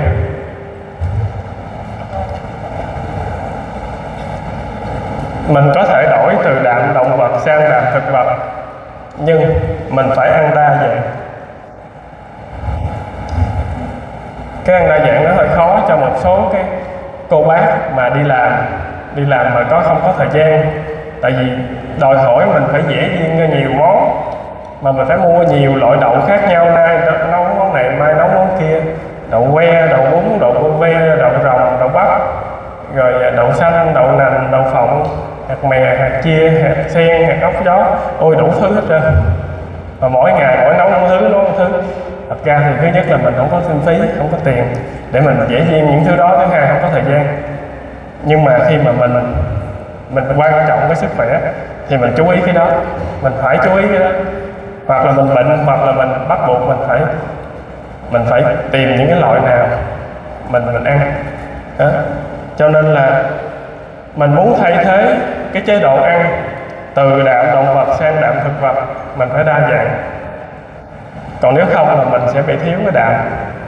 Mà như con nói đó, cái người ung thư mà thiếu cái nguồn đạm, không nạp đạm vô, cái chân bắt đầu phù lên, xương phù lên. Cái thận giữ nước, rồi bắt đầu tiết dịch nhiều hơn, dịch phổi, dịch ổ bụng, dịch màng tim. Nhưng mà khi mà mình bổ sung đủ cái protein á, đủ cái acid amin á với albumin á, là tự động cái chân nó bớt phù, dịch nó bớt tiết ra đương nhiên nó sẽ còn nhiều nguyên nhân nữa. Nhưng mà theo kinh nghiệm điều trị ấy, thì tụi con thấy như vậy đó bởi vì là góc độ của một thầy thuốc hỗ trợ điều trị bệnh ung thư con chia sẻ những điều đó. Vậy thì khi mà mình khỏe đó thì mình phải cân nhắc cái vấn đề hạt đạm động vật nha. Đấy, ăn đạm động vật nó đưa mình tới axit nó làm cho cái môi trường pH nội môi nè nó nghiêng về axit mà axit chính là môi trường để các bệnh lý nó phát triển. Như vậy thì các nhà mà sản xuất máy nước kiềm á, đây là cơ hội của những những người đó đó, của họ đó, là sản xuất cái dòng máy nước kiềm. Nó có pH 8.5 9.5 để uống vào, để trung hòa được những cái axit đi vào trong cơ thể của mỗi người. Tại vì giờ nó như thế này nè. Cái chế độ ăn đi nha bây giờ ví dụ như mình muốn mình muốn ăn mình muốn ngưng ăn đạm động vật dữ lắm nè. Nhưng mà khó cho mình lắm. Thứ nhất là mình đi làm việc thế nào cũng gặp đối tác. Đi mời mình ăn này ăn cái kia. Thì chắc chắn là khó mà ăn chay. À, chưa kể nữa đi đám tiệc. Mình tới cái chỗ đám đó mà mình thấy anh dọn cái bàn ăn cho đồ chay là mình làm quạo lên rồi đó. Nói chủ nhà gì đâu khó không cho ăn thịt ăn cá gì hết trơn hoặc là bưng ra cái chén cá chén chén thịt đường nó ít xịu mà đi tiền không xứng đáng. Có chơi thôi nha. Nhưng mà ý là ý con nói là những cái vấn đề ừ, cái chế độ ăn á, của người hiện đại mình đó thì cuộc sống hiện đại đó nó đang nghiêng về axit. Thì cái chuyện mà các cái cái nhà sản xuất ra máy nước kiềm tận dụng điều đó để lọc ra được cái dòng máy nước kiềm để bù lại cái axit mà mình đang có trong người để trung hòa được đưa cơ thể cho về trung tính cho nên bắt buộc mọi người đó phải áp dụng cái này nè. Để dễ thấy hình dung hơn nè con con chỉ cho ha. À,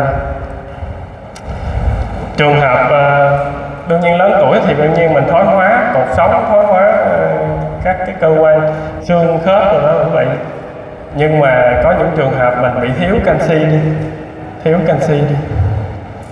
Khi mà mình nạp các loại đạm động vật hoặc là những cái cái những cái cái thứ mà con mới vừa nói đó cơ thể nó bị axit như vậy thì muốn được trung tính đó, thì nó phải lấy một cái chất nào đó trong cơ thể ra nó gây trung hòa.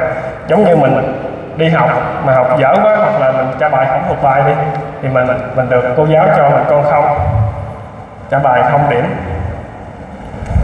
không điểm ha con lấy cái bút đỏ ra cho dễ hình dung.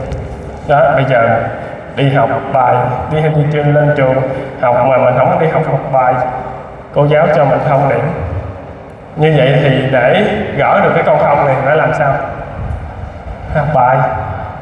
Học bài nhưng mà phải học bài để điểm cao, chứ ví dụ như học bài mà học lên tâm mơ, ăn thêm con không nữa, hoặc là con một nữa thì chết như vậy thì mình phải có ít nhất phải bảy, tám điểm, hoặc là cao nhất là 10 điểm. Như vậy thì con 10 cộng với con không ra chia điểm trung bình thành 5 thì cơ thể mình cũng vậy đó. Để giữ được cái duy trì cái mức độ kiềm kiềm nhẹ, thì khi mình nạp cái những cái thứ axit vào, cơ thể mình phải lấy những cái chất kiềm ra để trung hòa. Còn nếu không lấy được cái những chất kiềm trong cơ thể, nó sẽ lấy canxi canxi trong cơ thể. Như vậy thì mình sẽ thiếu hụt canxi dẫn đến mình đã lớn tuổi lõn xương, mà mình lại càng ăn những cái này nữa nè. Là mình càng thấy đau nhất nhiều hơn. Và cái xương của mình nó yếu hơn nữa. Thay vì mức độ lõn xương đối với người lớn tuổi là nó đã có, nhưng mà mình càng đi sâu hơn vấn đề đó nữa. Như vậy thì cái quyết định quan trọng của axit kiềm nó quan trọng lắm. Như vậy thì ở đây tụi con không có khuyến nghị bệnh nhân sử dụng tập trung vào nước kiềm nha nhưng mà một thứ quan trọng khác ở bên kia đó là rau xanh trái cây.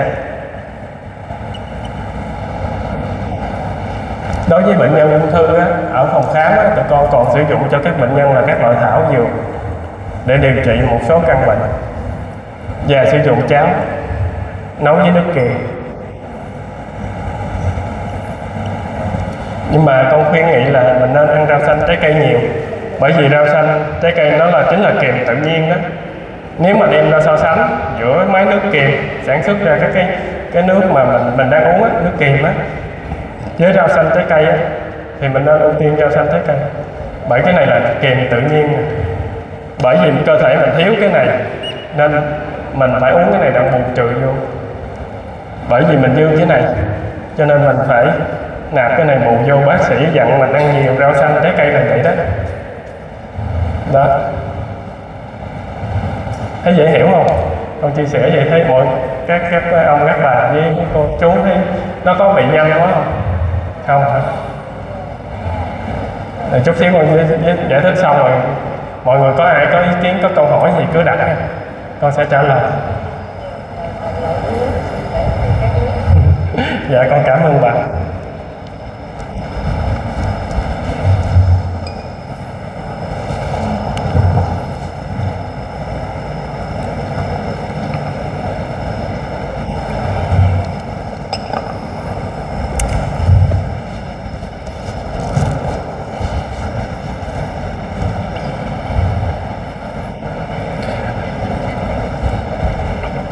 Bây giờ mình còn khỏe, mình chưa có bệnh hoặc là những cái căn bệnh của mình nó chưa đến nỗi nào nó còn mình còn kiểm soát được, thì mình cố gắng chú ý cái vấn đề axit kiềm tất cả những cái thực phẩm của axit hạn chế hoặc là để làm được ngưng luôn, mình đổi qua cái chế độ ăn kèm để cơ thể mình được kiềm hóa, để bảo vệ sức khỏe về lâu về dài vì nếu mà mình axit hóa, càng ngày càng axit hóa đó, thì sớm muộn sớm muộn gì cũng có thể gặp con. Vậy thì để tránh gặp con thì cố gắng. Mình đừng ăn cái này.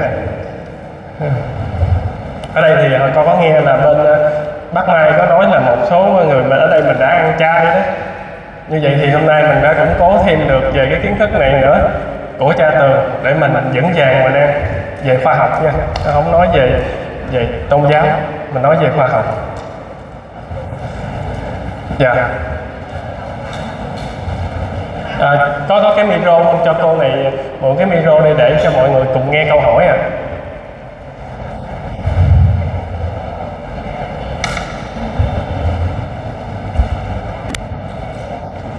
Nó hơi kéo dài thời gian thiệt nhưng mà nó bổ ích.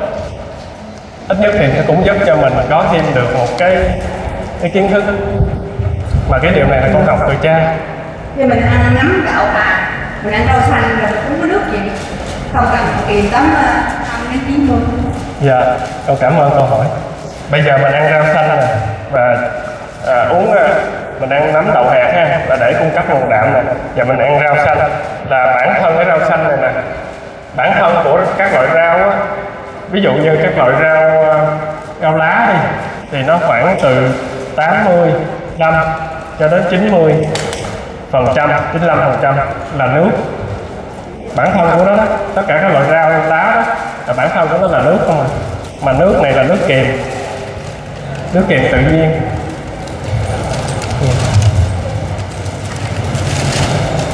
Như vậy. ngày uống nước bình thường á ví dụ suối rồi dạ được dạ được. Mình đừng đặt nặng vào vấn đề nước kiềm nếu như mình ăn đủ rau xanh và trái cây. Vì sao? Khi mà cơ thể mình bị axit á thì mình cần những cái loại kiềm để trung hòa những cái loại đó. Như vậy thì có thấy nhiều người á à, đi đi tới đâu á cũng mang theo cái bình nước kiềm. Nước kiềm sách cái nước kiềm tò ten tò ten nhưng mà không cần như thế đâu.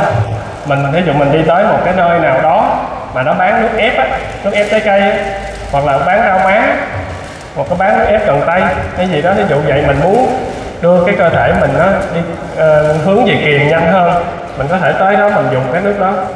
Và bên cạnh đó mình dùng nước trung tính cũng được rồi. Khi mình dùng nước trung tính bên cạnh việc ăn rau xanh trái cây nhiều và đa dạng thì cơ thể mình đã đủ cái đính kiền. Bên cạnh đó là mình phải hạn chế cái này nha. Tôi hay nói vui với tất cả các bệnh nhân ung thư ở phòng khám nó như thế này nè. Bây giờ đó mình mắc bệnh ung thư giống như là mình mình đang chạy một chiếc xe xe đó, chiếc xe vẻ hơi xấu nha. Nhưng mà hình dung thôi. Nếu như mà chiếc xe này mà chạy trên đường mà ở phía trước mình là cái dược phẩm nè ung thư là đối diện cái dược phẩm đó chứ gì nữa. Như vậy thì mình đang chạy tới phía trước nè. Để cho chiếc xe này nó dừng thì phải làm sao? Mình coi cái này là chân ga nè. Cái này là chân thắng nè. Như vậy thì ga thì phải làm sao? Hả? Mình cho nó về số không chứ giảm giảm nó cũng chưa chắc nó dừng nữa.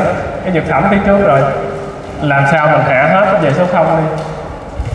Chứ giờ này mà chờ ăn chút chút chút chút rồi ờ, nó không có kịp đâu. Đối với những bệnh nhân thân hết thời gian này, đặc biệt là giai đoạn muộn không còn thời gian để chờ đợi đâu mà ăn chút chút. Mình phải giảm cái này về số không. Có nghĩa là hoàn toàn thì có không đụng tới nữa. Nhưng như vậy mình phải đạt thắng. Đương nhiên là hạ hạ ra xuống số không nhưng mà mình mình mình không đạt thắng có nghĩa mình không ăn rau, rau xanh trái cây. Là chiếc xe nó vẫn còn trớn nó chạy tới. Như vậy mình phải đạt thắng hết mức có thể luôn. Bằng cách ăn rau xanh. Như vậy thì chiếc xe hy vọng nó sẽ tới đây nó dừng lại nó không dậy nữa. Còn nếu như cái người đó thì cái trớn của chiếc xe nó nó chạy 120 cây số một giờ, bây giờ đạp thắng, cỡ nào đạp không kịp thì đương nhiên là đi luôn ngay nhưng mà ít nhất có đạp đỡ hơn không. Nó chậm chậm một chút. Nó chậm tới đây nè. Như vậy thì khi mình khỏe đó, còn khỏe đó, các cô, các bác lưu ý, cố gắng mình mình biết cái vấn đề đạm động vật, mình có thể thay thế bằng cái chế độ ăn khác. Thì mình thay thế những cái loại này nè nấm đậu hạt nè nó rất tốt cho cái não bộ của mình và mình cần thiết cho cái sức khỏe của mình. Thì mình thay thế cho những cái loại này.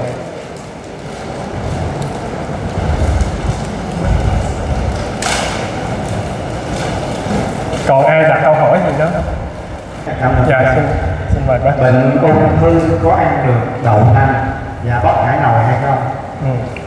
rồi con à, sẽ trả lời như sau nha. Đối với bệnh ung thư đó và đậu nành.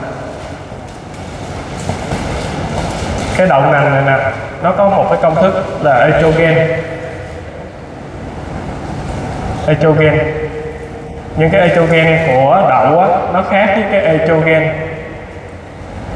ở trong cơ thể con người, cái nội tiết tố mặc dù nó cùng cái tên etrogen nhưng hai cái etrogen này nó hoàn toàn nó khác nhau. Và cái thứ hai, trong những trường hợp nào không được dùng cái đậu nành, và trong trường hợp nào phải dùng đậu nành. Trong trường hợp không dùng đậu nành là khi bệnh nhân đó có một cái tuyến giáp bị viêm giáp hoặc là bị bệnh lý về tuyến giáp, thì cái đậu nành này nè, nó sẽ hạn chế cái khả năng hấp thu iốt iốt của tuyến giáp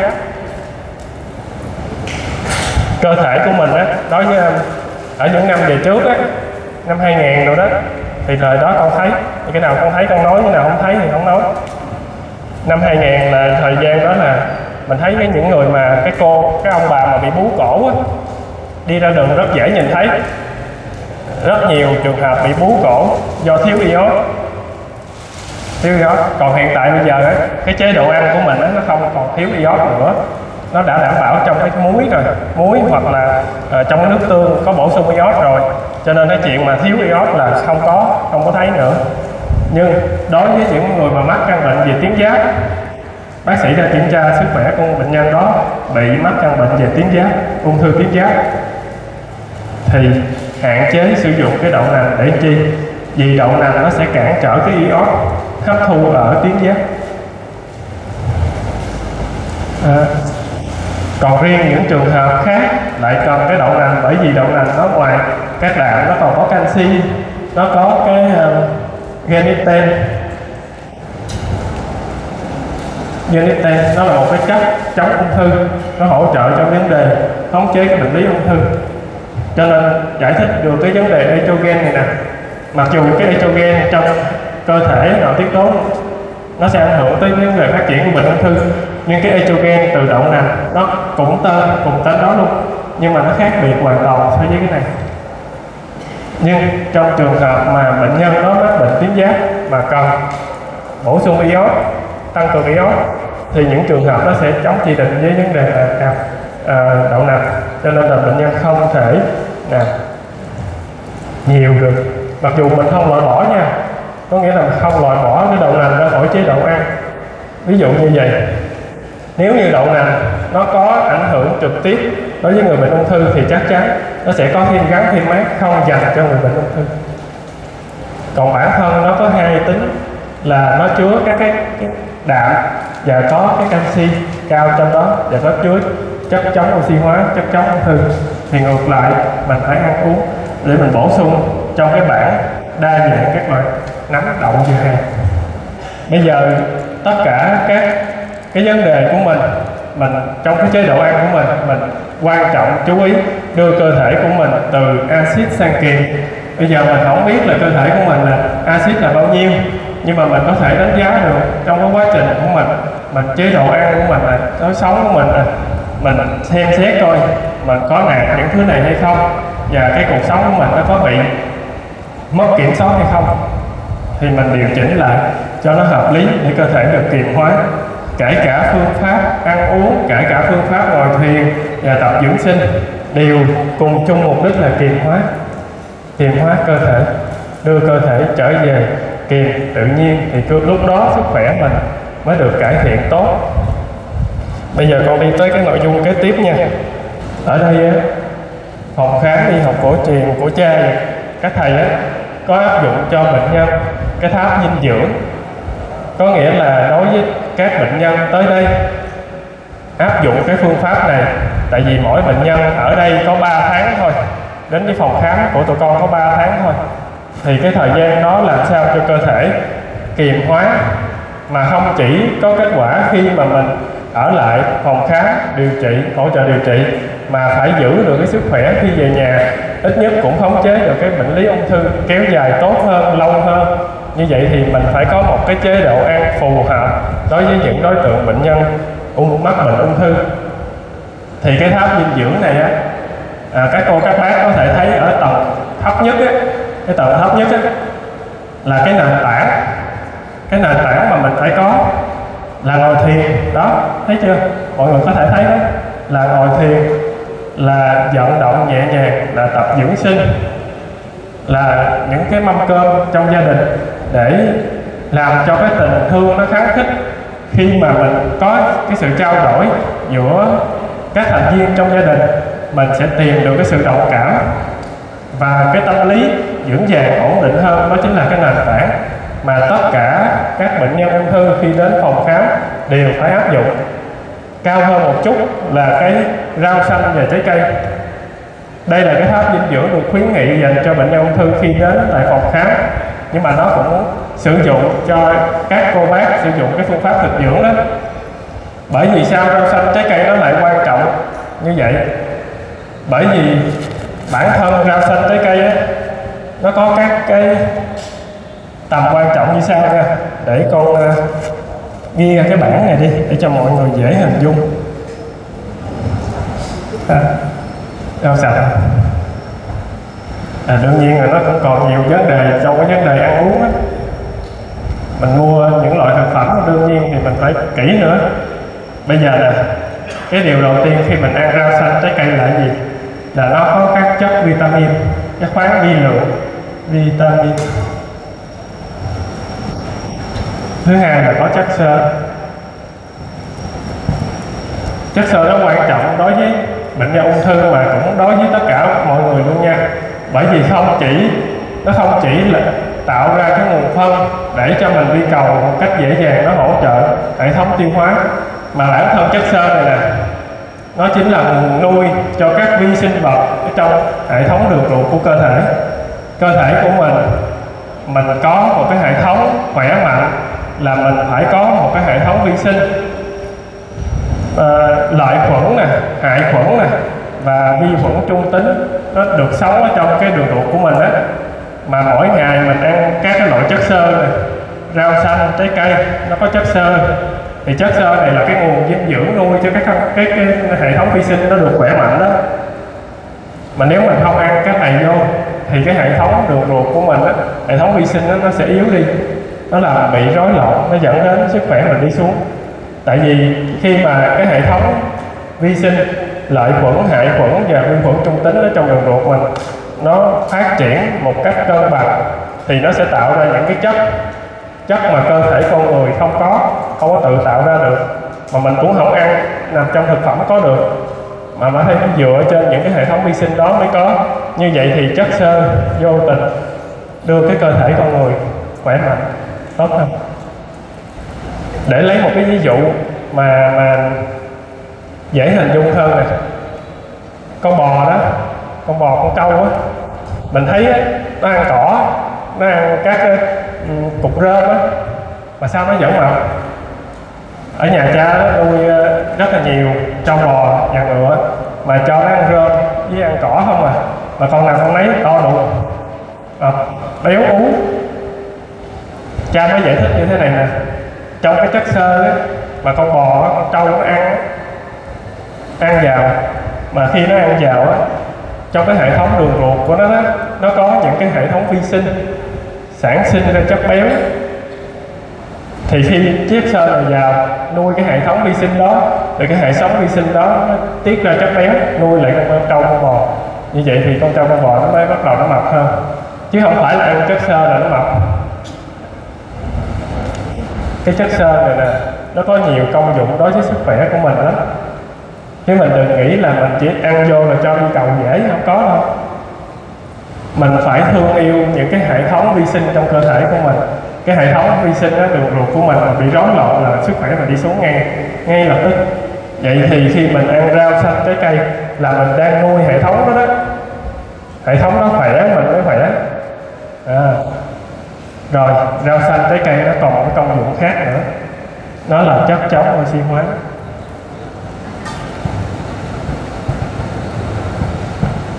Chất chống oxy hóa ha bây giờ mình lấy ví dụ hình dung này. bây giờ cái trái táo. Bây giờ mình gọt cái trái táo ra. Đúng chưa? Bây giờ mình mình ăn, mình gọt cái trái táo ra. Nhưng mà mình chưa kịp ăn, mình bỏ trên bàn thì nó bị sao? Hả? Bị bầm đen. Cái trái táo mình gọt cái lớp vỏ ra mà mình chưa kịp ăn thì nó bị bầm đen. Cái ly nước mía mình mình mình thấy mấy cái chỗ mà bán cái xe nước mía đó mà vừa ép cái ly nước máy xong mà không bỏ đá vô thì nó bị sao? Nó bị đen. À, kể cả bột cũng vậy. Bột à, bột mì hoặc là tất cả các cái loại à, mà mình xay xay nó thành bột á thì để lâu là mình nó sẽ hư nó sẽ thiêu và nó bị bầm đen. Cái hiện tượng nó gọi là hiện tượng oxy hóa.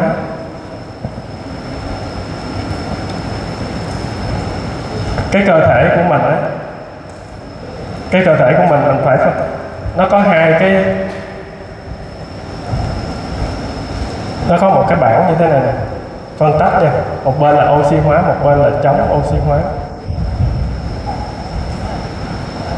Nếu như cơ thể của mình á, nạp những cái chất mà oxy hóa vào trong cơ thể nhiều hoặc là tự cái lối sống đời sống của mình á, nó có những cái oxy hóa ví dụ như mình tiếp xúc với những cái khối bụi hoặc hóa chất hoặc là những cái gốc tự do tự do. Hoặc là mình ăn nhiều dầu mỡ đồ chiên đồ chiên, dầu mỡ. Hoặc là mình ăn những cái loại mà bị thiêu, ôi thiêu, rồi bị ờ, hư, nãy như nói nãy đó là gọt cái trái táo ra, không ăn liền, để lâu ngày nó bị, nó, để lâu ờ, cái nó bị mập đen đó bị oxy hóa đó. Vậy thì tất cả những cái hiện tượng đó nó, nó kéo cái quá trình lão hóa của mình xuống. Lão hóa. Có nghĩa là nó làm cho mình già nhanh hơn. Còn trong khi đó cái chất chống oxy hóa nó giữ cho cơ thể của mình chống lại quá trình lão hóa đó. Và đặc biệt là đối với bệnh ung thư ấy, cái người mà mắc ăn bệnh ung thư là cái tế bào ung thư nó sản sinh gốc tự do mà không có cái chất chống oxy hóa kèm theo ấy, thì cái gốc tự do này nó tàn phá cơ thể nhiều hơn và nhanh hơn bên cạnh cái vấn đề axit kẹp cái dầu ăn ấy, dầu ăn mình đang ăn ấy. ví dụ như mình chưa ăn chưa có ép ra thành dầu ăn ấy, nó còn từ trong đậu nành mè rồi hoa hướng dương nè hoặc ô liu nè nếu mà nó còn nguyên trái chưa có ép những cái dầu đó là nó chưa bị oxy hóa nhưng khi nó đã trở thành dầu tinh luyện thì nó đã trở thành dầu oxy hóa rồi. Vậy thì khi mà mình dùng quá nhiều dầu ăn, dầu oxy hóa đó, đưa cơ thể nó tăng cái chất oxy hóa lên. Như vậy thì để bảo vệ sức khỏe được tốt hơn, thì cái bảng oxy hóa này nè, mình phải chất chống oxy hóa phải nhiều hơn. Cái chất bị oxy hóa, khi mà nạp vào trong cơ thể, chất chống oxy hóa đó từ trong rau xanh trái cây mình đang ăn giống như cô nãy có nói đó là khi mình nấu nướng mình nấu hơi hơi thôi đừng đừng có nấu gục quá. Khi mà mình nấu gục quá đó, thì những cái chất chống oxy hóa nó sẽ mất đi. À, vậy nhưng mà mình không để sống mình ăn nha. Có nghĩa là có cái gì nó có đi cũng phải có lại. Có khi mình nói là thôi đừng nấu gục quá cái mình cái mọi người thôi để ăn sống luôn cho nó còn nguyên. Như vậy thì nó dẫn đến tình trạng bị nhiễm khuẩn dụ như cái thực phẩm đó nó chưa đảm bảo mình không nấu ờ, chín là nó nhiễm khuẩn mình ăn vô mình bị đau bụng. Như vậy thì nấu giống như cô nói đó là nấu hơi cho nó hơi mềm hơi gục chưa có tới nỗi gục nhưng mình có thể sử dụng. Và rau xanh trái cây bản chất nó có chất chống oxy hóa. Vậy thì mình ăn những loại rau xanh trái cây á, bên cạnh những cái dưỡng chất từ rau xanh trái cây thì nó cung cấp cho mình chất chống oxy hóa. À, thêm một cái yếu tố nữa mà trong rau xanh trái cây nó có. Đó chính là hoạt chất tự nhiên.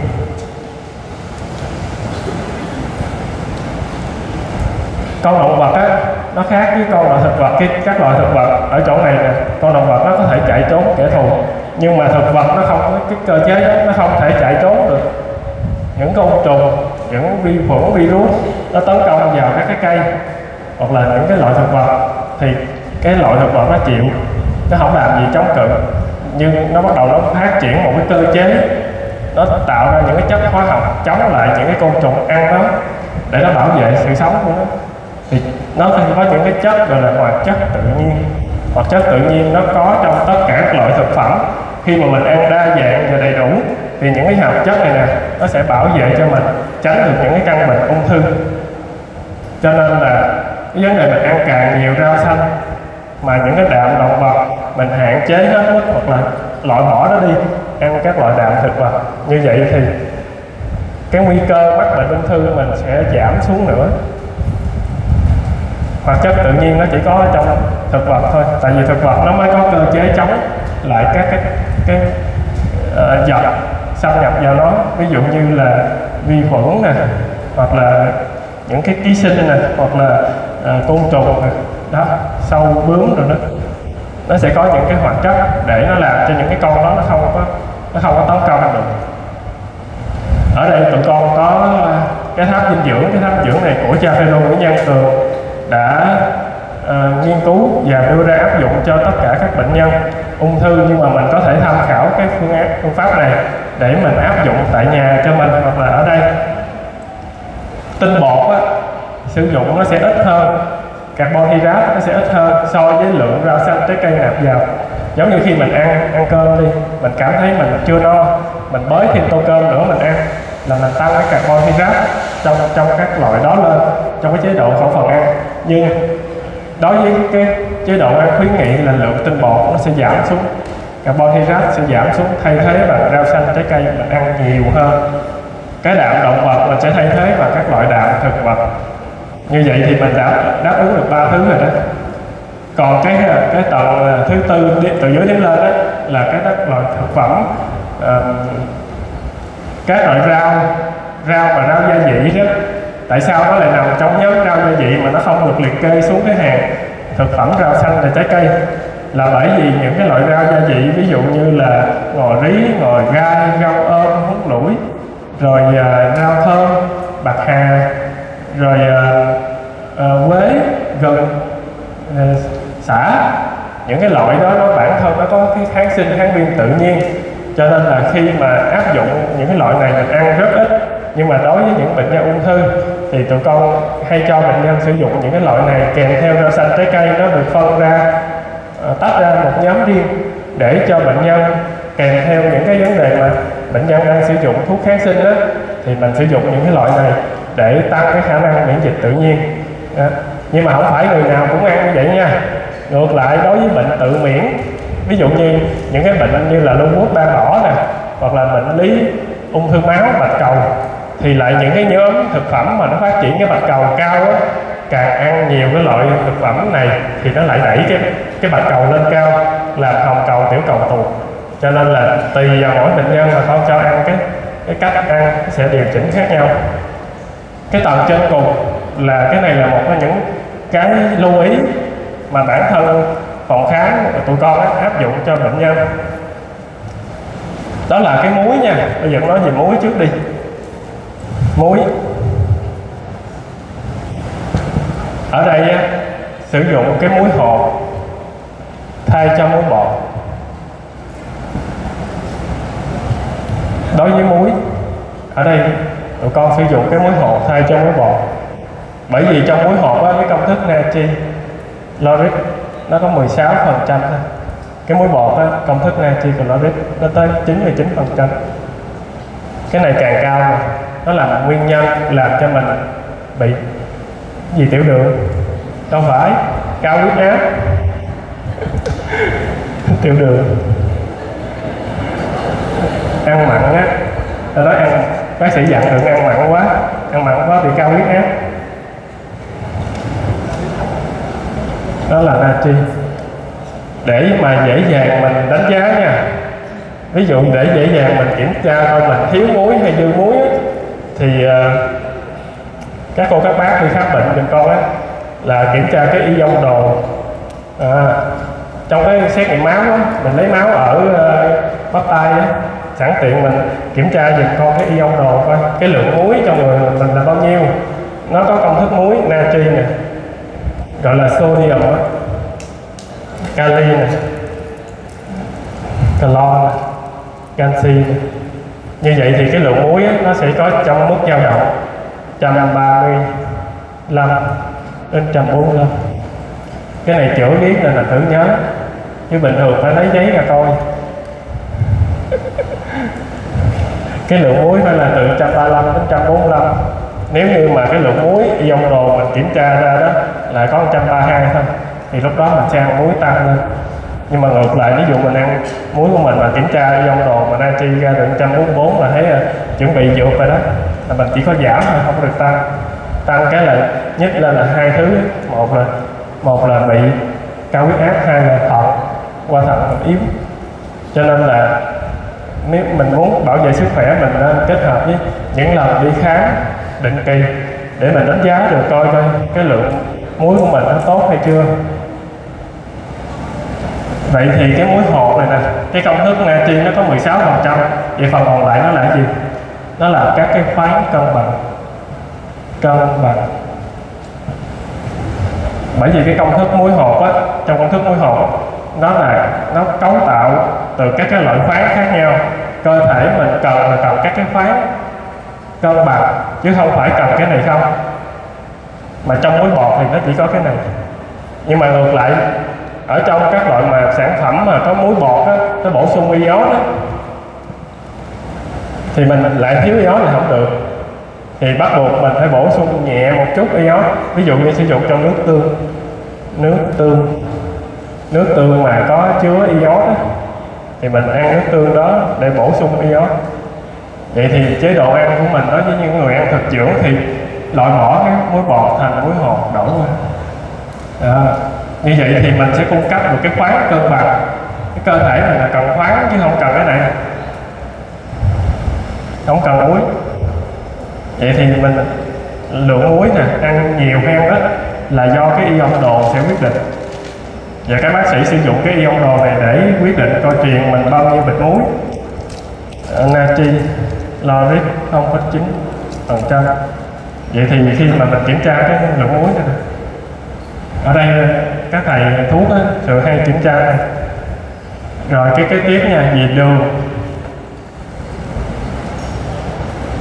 Đối với bệnh ung thư á, thì hạn chế sử dụng các cái loại thực phẩm có năng lượng cao.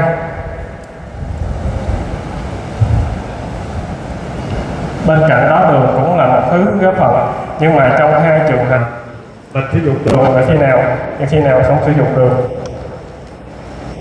Đường á tụi con đổi qua mình không sử dụng đường trắng. Đường tinh luyện á, sẽ được thay thế bằng đường phèn đường đen đường thốt nốt ở uh, quê xứ trại dân của con á nó còn một cái loại đường nữa. Đó là đường mật hoa dừa hoa dừa đó. sẽ thay thế cho cái đường tinh luyện của mình. Nhưng với một lượng vừa phải thôi bởi vì mình không cho cái lượng đường tăng lên để mình kiểm soát. Kiểm soát lượng đường. Bởi vì đường càng nhiều nó càng nuôi tế bào ung thư. Và nó phát triển một số bệnh lý và nó gây lão hóa. Cho nên là không sử dụng đường nhiều nhưng mà trong những trường hợp cần phải bổ sung lượng đường ví dụ như những trường hợp bị ung thư gan ung thư gan mà không có không có uh, lưu trữ được dự trữ được cái lượng glucose thì bắt buộc phải lệ thuộc vào cái loại đường.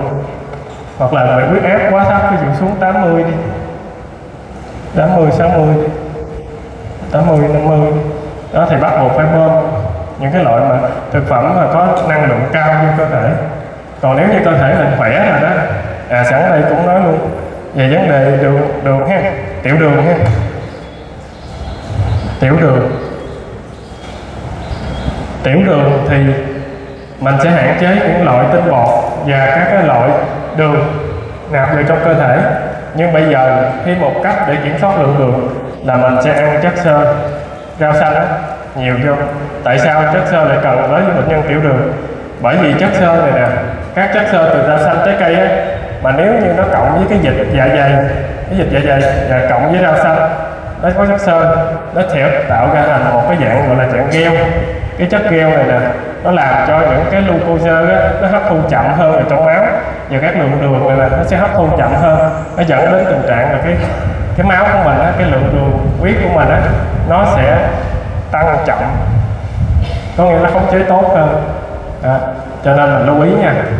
Hãy mình bị tiểu đường thì những cái loại chất xơ mình tăng lên để tạo ra một cái dạng keo để cái lượng máu của mình á, nó sẽ chậm ờ, cái ờ, cái chất đường và glucose nó chậm bơm cho máu.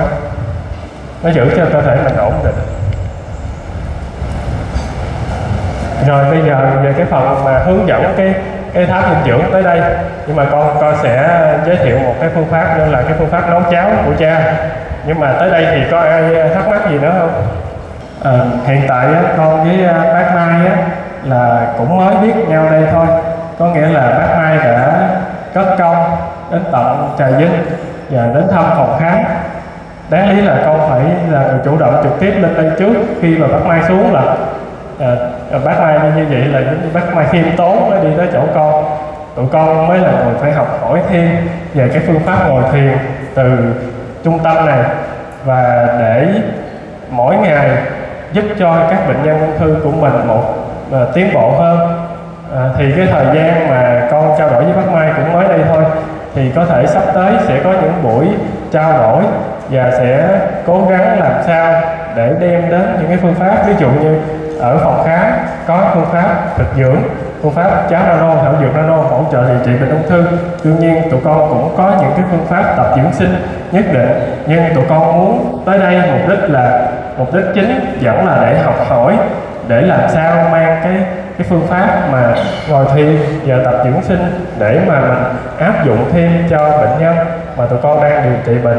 Bên cạnh đó có thể cái phương pháp à, thực dưỡng một của cha có thể nhân rộng ra lan tỏa tới nhiều đối tượng, các cô, các bác. Ví dụ như mình có căn bệnh ung thư mà mình chưa tới phòng khám, hoặc là những trường hợp mà mình chưa mắc bệnh ung thư mà mình muốn cái chế độ ăn của mình về phương pháp thực dưỡng làm sao cho phù hợp đối với cơ thể của mình mình có thể tìm hiểu thêm. Thì trong thời gian sắp tới thì những cái tài liệu, những tư liệu là những cái cái sự mà hợp tác, trao đổi thêm về cái phần đó giữa bên phòng khám và bên bác nó sẽ diễn ra tốt hơn. Thì để đưa vào, chính thức đưa vào, thì đòi hỏi phải có thời gian đó cô. Một trong những cái ờ, cái phương pháp mà cha đã nghiên cứu trên thực nghiệm nha. Cha là nhà nghiên cứu thực nghiệm. Cái xuất phát của cha là một vị linh mục công giáo, nhưng mà cha nghiên cứu trên bệnh nhân, dựa trên nghiên cứu thực nghiệm, không phải nghiên cứu hàng lâm nha. Nếu mà nghiên cứu hàng lâm sẽ đưa ra những cái cơ chế về cái phương pháp đó nhân nghiên cứu thực nghiệm sẽ đưa ra về cái phương pháp và cái kết quả cuối cùng. Trong các loại thực phẩm chính mình có thể mình sử dụng là à, lúa mì hoặc là gạo. Là có hai thực phẩm chính là gạo và lúa mì. Nhưng mà một số người ờ, châu Á của mình đó, nó không có phù hợp với một số loại gluten đó, dưỡng gluten đó, cho nên là hoàn toàn cái lúa mì cha đã loại bỏ ra khỏi cái chế độ ăn của các bệnh nhân mà chỉ sự chừa lại gạo thôi. Nhưng gạo thì mình nấu nhiều cái phương pháp khác nhau. Ví dụ như nấu cơm nấu bún phở hủ tiếu bánh canh và kể cả cháo bình thường.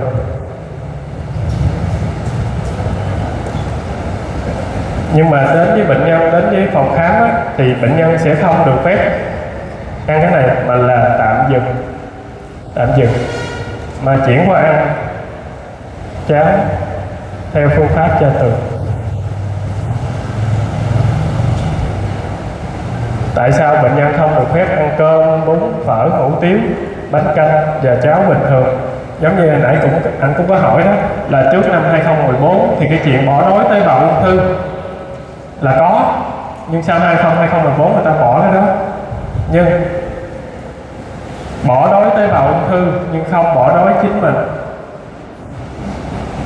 Là ăn phương pháp này. Mình có cả một cái tháp dinh dưỡng để cân bằng trong thời gian kéo dài. Mình có những thực phẩm bổ sung về đạm. Mình không bị lệ thuộc vào đạm động vật, nhưng bản thân của mình nuôi sống bằng trái theo phương pháp của cha tường ở đây đó, tụi con sử dụng cái nồi áp suất sinh hao, nhưng mà để lát nữa con sẽ nói về phương pháp này. Bây giờ con nói về cái cơ chế của nó nha. Tại sao mình lại phải sử dụng cái đó thay cho phương pháp ăn bình thường ha? Trong cái hạt gạo này, hạt gạo này, ở ngoài hạt gạo đó là lúa ha. Tách được cái lớp trấu này nó sẽ có là lớp trong và lớp cắn. Và có một cái chất được gọi là chất chi xin. Chi xin. Cái chất này nè ta gọi là chất ức chế nảy mầm nó là cái hạt lúa hạt gạo nếu mà để trên bàn này hoặc để dưới đất này nó không thể tự nảy mầm được mà nó phải nằm ở dưới đất. Dưới đất nó mới nảy mầm được. Vậy thì chất này đi vào trong cơ thể cơ thể cần phải có enzyme tương ứng để tiêu hóa được chất này. Đó cơ thể phải sản sinh được cái chất đó. Đối với người bình thường á mình ăn vô những cái này nè mình tiêu hóa nó rất là dễ dàng đâu có khó. Là bởi vì cơ thể tự tạo ra enzyme. Nhưng đối với cơ thể mắc căn bệnh ung thư ấy, ung thư. Cơ thể còn phải chống bệnh của hệ thống miễn dịch nữa. Và nó có hai hai hệ thống là hệ thống bạch cầu và hệ thống NK natural kill hai hệ thống này là hai hệ thống chống bệnh tự nhiên. Như vậy thì để cho giải quyết cho những bệnh nhân ung thư giai đoạn muộn, bây giờ mình tăng cái khả năng hỗ trợ điều trị lên bằng cách nào? Bằng cách nấu bằng nồi áp suất ở nhiệt độ cao áp suất cao khi nhiệt độ cao và áp suất cao của là áp suất nó sẽ phân giải được chất này ngay trong nồi cháo. Mà mình nấu không, phương pháp thông thường nó vẫn còn nha. Mình nấu cháo thông thường mà nó vẫn còn. Nhưng nấu bằng phương pháp nấu cháo nồi áp suất là nó sẽ mất cái chất này đi thì cơ thể sẽ hạn chế tạo ra enzyme. Khi đó cơ thể mới tập trung về cái hệ thống miễn dịch cải thiện cái hệ thống miễn dịch tốt hơn. Dễ dàng thấy nhất nè. Bây giờ ở đây mình thấy cái chuyện này mình thấy nó hơi bị chưa có hiểu lắm, nhưng mà đối với những bệnh nhân suy kiệt á, ai mà bệnh nhân suy kiệt cái sẽ thấy rất dễ dàng. Tại sao ăn cái này không được? Không tiêu mà ăn cái này tiêu. Nấu cháo này là tiêu nè. Mà sao ăn cái này không tiêu? Tại vì cơ thể hết, tạo nổi enzyme mà, yếu quá rồi. Mà vẫn tiêu hóa được cái này cho nên cha mới nghiên cứu cái phương pháp nấu cháo bằng hình thức nấu cháo bằng nồi áp suất nhưng năm 2017 đó, cha đã có nghiên cứu trên nhiều dòng nồi khác nhau. Nhưng cái dòng nồi là mỗi dòng nồi thì đương nhiên cái thông số kỹ thuật nó giống nhau. Nhưng mà khi thực tế, trên thực tế, tại vì mình nói trên lý thuyết là nó như vậy, nhưng khi đem ra thực tế thì cái số lượng mà bệnh nhân ung thư mà ăn cái dòng nồi của cái nồi sinh hao á mã nồi là SHB 1552 đó, lại cho ra kết quả cao hơn những cái, những bệnh nhân của ăn những cái dòng nồi khác. Từ đó cha mới ấn định cho cái phương pháp nấu cháo của cha sử dụng nồi đó. Chứ không phải giới thiệu cho hãng nồi đó nha. Vô tình là cái nồi đó là đạt được kết quả cao. Tại vì sao? Cái phương pháp của cha cha là nhà nghiên cứu thực nghiệm chứ không phải là nhà nghiên cứu hàng lâm thì những cái gì mang lại kết quả thiết thực cha sẽ áp dụng phương pháp đó. Còn về cơ chế có thể về cái cơ chế và cái những cái mà trình bày về lý thuyết là chưa được bổ sung. Nhưng cái kết quả có cha áp dụng và những nhiều người bệnh nhân áp dụng phương pháp đó có hiệu quả.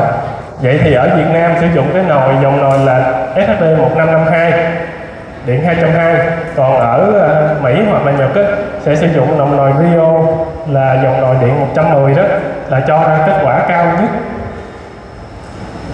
cái cái nguyên gốc của nó là sử dụng để loại bỏ cái chất này đi. Và cơ thể sẽ đỡ tốn enzyme. Mà cơ thể khi mà, cơ thể mình 70 phần trăm là chất lỏng 30 phần trăm chất rắn. Vậy thì đưa cơ thể nạp nước vào nước vào nhiều, cộng với muối hột hai thứ này nè, nó phù hợp với nhau. Vậy thì kết quả là gì? Như anh mới vừa nói đó là cái vấn đề mà nó từ phát đó, nó bắt đầu nó cái tủa nó, nó giờ nó hình thành lên cái khối cái cái um, cái hột muối. Nhưng mà khi mà mình nạp vào cơ thể mình sản sinh ra gốc tự do và hình sỏi. Nhưng mà ngược lại á trên trên mà kết quả cuối cùng á mà bệnh nhân áp dụng cái phương pháp ăn cháo á, thì khi mà xét nghiệm siêu âm siêu âm uh, uh, ổ bụng á thì những cái viên sỏi nó nó càng nó càng nhỏ lại nó tan đi không biết lý do gì. Bây giờ con không giải thích. Bởi vì con không phải là nhà nghiên cứu. Con là người thầy thuốc áp dụng cái phương pháp của cha con không biết lý do gì sao. Nhưng mà thôi thì để thời gian, để coi sẽ có nhiều nhà nghiên cứu hoặc là anh có thời gian nghiên cứu thêm dùm các thầy về phương pháp đó có lý do gì mà nó như vậy. Thì à, hỗ trợ thêm về vấn đề, về lý thuyết.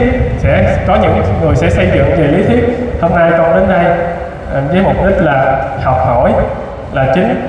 Là con mong muốn tất cả mọi người sẽ ừ, cùng cùng với con, cũng như là góp ờ, thêm những cái ờ, kiến thức của mình để giúp cho con có thể ừ, mang những cái kiến thức đó trở về quê hương của con, mà giúp cho những bệnh nhân ung thư có được cái chất lượng điều trị tốt hơn.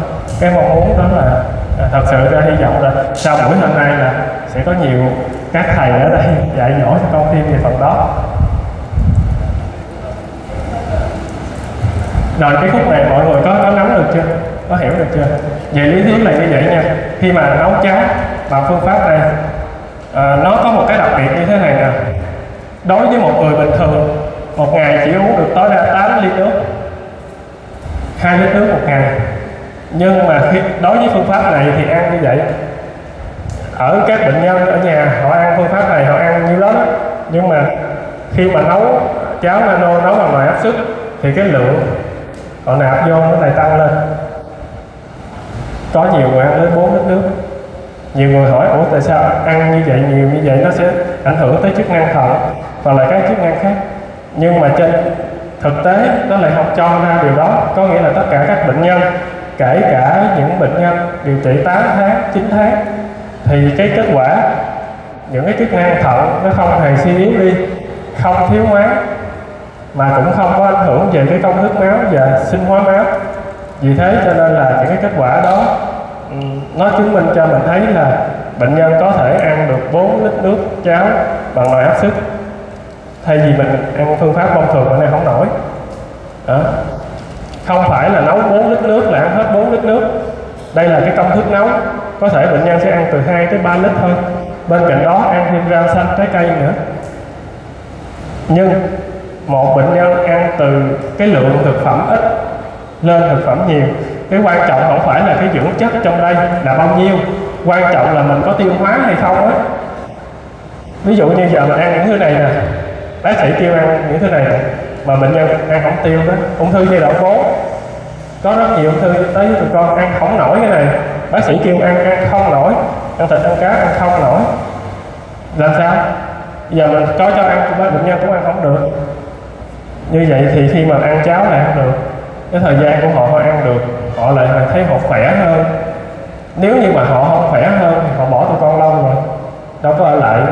Cháo mất rồi thì từ đó về sau là các bệnh nhân họ sẽ từ từ là bước là bước. Ít hơn ít hơn. Tới khi họ không còn ai hết nhưng mà bác Mai xuống, có xuống thăm phòng khám rồi. Thì có gì thì bác Mai sẽ chia sẻ thêm về cái cảm nhận của bác Mai về phòng khám. Mình không thổi phòng về cái phương pháp, bởi vì phương pháp nào cũng vậy. Nó đòi hỏi mình có phải, có thời gian. Nhưng mà mình phải, giống như là mình cởi mở một chút để mình nhìn thấy nhiều góc cạnh khác nhau. Tại vì khoa học thì luôn, mỗi ngày luôn tìm ra những cái mới cái mới những cái điều mình hiểu chưa phải là cái đích đến cuối cùng mà nó còn phải có nhiều thứ hơn nữa. Đó. Có khi mà một ờ, một người nông dân mà có thể sản xuất ra được những cái chiếc máy mà có thể là những kỹ sư không làm ra được à, mình cũng phải có một cái, cái thái độ một cách cởi mở hơn về vấn đề đó để mình coi cái kết quả như thế nào. Tôi hy vọng một số ờ, cô bác mà có điều kiện thì trở về phòng khác để tham quan qua một lần để mình hiểu thêm về phương pháp đây thì cái nồi áp suất đó lát nữa con sẽ giới thiệu cho mọi người về phương pháp nấu. Cái nước kiềm mà nãy con đã nói rồi đó đối với bệnh nhân ung thư thì chắc chắn là bệnh nhân nó phải sử dụng nước kiềm tại vì cơ thể của những người bệnh nhân ung thư thì cái mức độ axit bò rất là cao.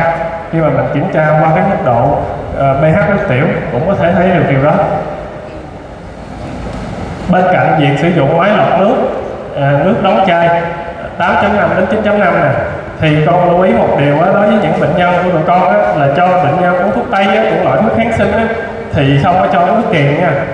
Mặc dù mình nấu ăn mình nấu uống và mình nấu các loại thảo dược hoặc là ăn cháo thì mình nấu với nước kiềm nhưng khi mà bệnh nhân uống thuốc tây thì chỉ cho là cái mức độ cái pH nó dưới 8.0 thôi tại vì nếu cao hơn 8.0 có thể nó sẽ gây, xảy ra hiện tượng kết tủa thuốc à. Ờ.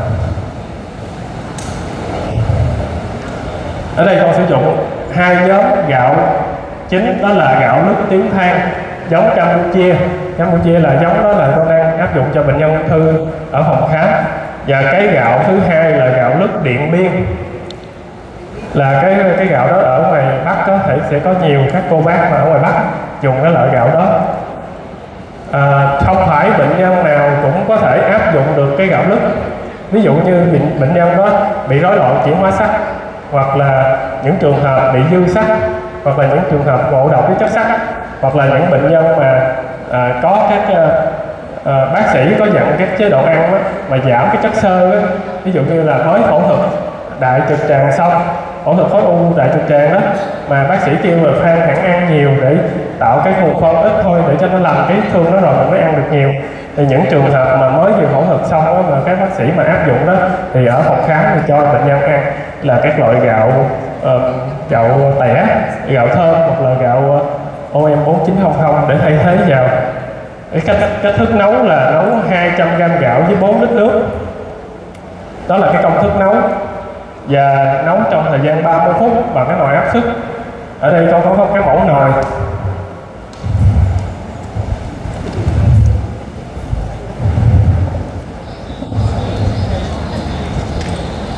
Đó.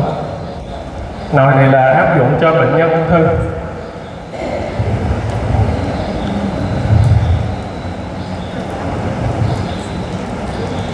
Bây giờ con à, con sẽ mở cái nắp nồi ra nha, để à, hướng dẫn cụ thể trên đây luôn cho mọi người thấy. À.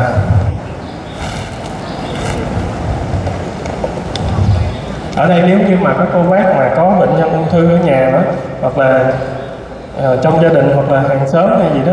Mà nếu như không có điều kiện tới phòng khám thì mà không có không có còn điều trị tại Tây y nữa đó thì có thể cân nhắc sử dụng phương pháp này cũng được. Đó cho con một cái viết con gặp cái này cái.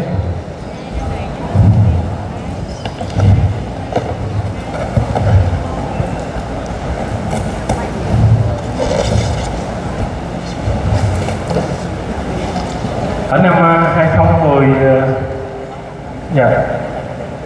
Dạ dạ dạ dạ con. Năm 2017 2018 thì cha cũng có cho sử dụng nhiều nồi áp suất khác nhau lắm. Trên nguyên tắc thì miễn sao là nồi áp suất nó có cái thông số kỹ thuật giống nhau thì kết quả nó sẽ như nhau. Nhưng mà trên thực tế lại không phải như vậy. Và cái dòng nồi mà cao cấp hơn dòng nồi này nữa có nghĩa là cũng hiệu sinh heo mà dòng nồi bằng nút điện tử, nhưng mà kết quả không bằng. Nó, bởi vì trên thực tế nó sẽ có những cái mà mình không thể lý giải được, nhưng mà điều đó là một cái cái kinh nghiệm mà khi áp dụng rồi, cha mới áp dụng, cha mới đưa ra cái tiêu chuẩn cho cái phương pháp nấu cháo của cha.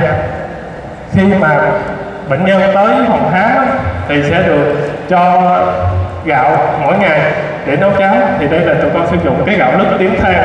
Tại sao bệnh nhân sử dụng loại gạo lứt tím than cho vấn đề nấu cháo mà không phải là mình sử dụng cái vấn đề mà ăn thực dưỡng uh, ờ, các loại như là mình nấu uh, hơi đặc một chút hoặc là mình nấu uh, theo phương pháp là nấu cơm thực dưỡng nhưng mà đối với những bệnh nhân bệnh nhân mà bị hệ thống tiêu hóa ví dụ ung thư gan đi hoặc ung thư tụy ung thư uh, thực quản thư dạ dày.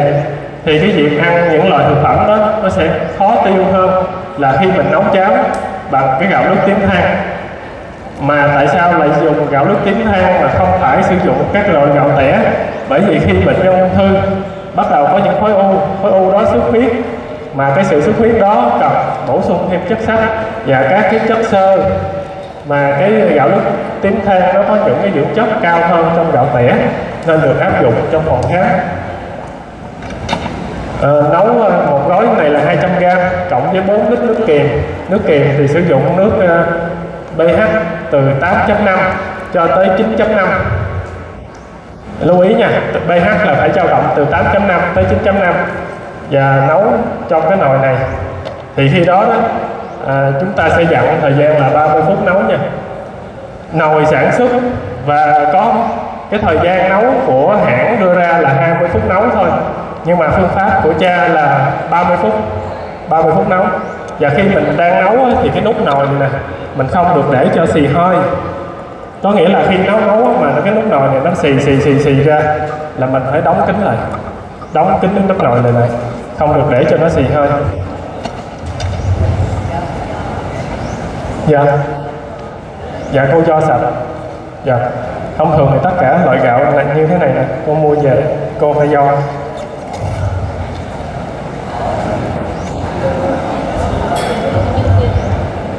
À, cái này nó bán ở điện máy xanh thì con nhớ là khoảng là một triệu uh, triệu mốt hay triệu hai gì cái đó. Mình áp dụng cái đó. Mình có thể ra điện máy xanh để mình mua nha. Đó là cái phương pháp mà uh, cha và các thầy đang áp dụng cho bệnh nhân ung thư giai đoạn muộn thì nó sẽ còn nhiều cái vấn đề mà mình phải bàn tới về cái lý thuyết để mình nắm rõ hơn về phương pháp. Tuy nhiên về cái uh, thực tế khi áp dụng cho những bệnh nhân mình đem lại cái kết quả ừ, thiết thực mà trước đó đã có viết sách có nghĩa là trong cuốn sách có những cái trường hợp bệnh nhân đã hoàn thành cái phương án phương pháp điều trị và có kết quả. Và à, nếu như cô bác mà nếu mà muốn á, theo dõi phòng khám á, thì có thể vào kênh của phòng khám cha tường um, cha Phêrô với nhân Tường Official thì có thể theo dõi chương trình của phòng khám. Thì à, qua cái buổi hôm nay con muốn à, chia sẻ với tất cả quý ông bà về phương pháp à, hỗ trợ điều trị bệnh ung thư để qua đó mình có thể thấy được cái chế độ ăn của phương pháp áp dụng ờ, của cha tường áp dụng cho bệnh nhân như thế nào. Thì hy vọng trong sắp, thời gian sắp tới sẽ có những buổi làm việc uh, chung với bác Mai để uh, đem đến cái cơ hội áp dụng cái phương pháp này cụ thể hơn cho những uh, cô bác mà đang tập thiền cũng như là các bệnh nhân ung thư. Những như cô nói đó, sẽ có những cơ hội để tiếp cận với phương pháp thiền.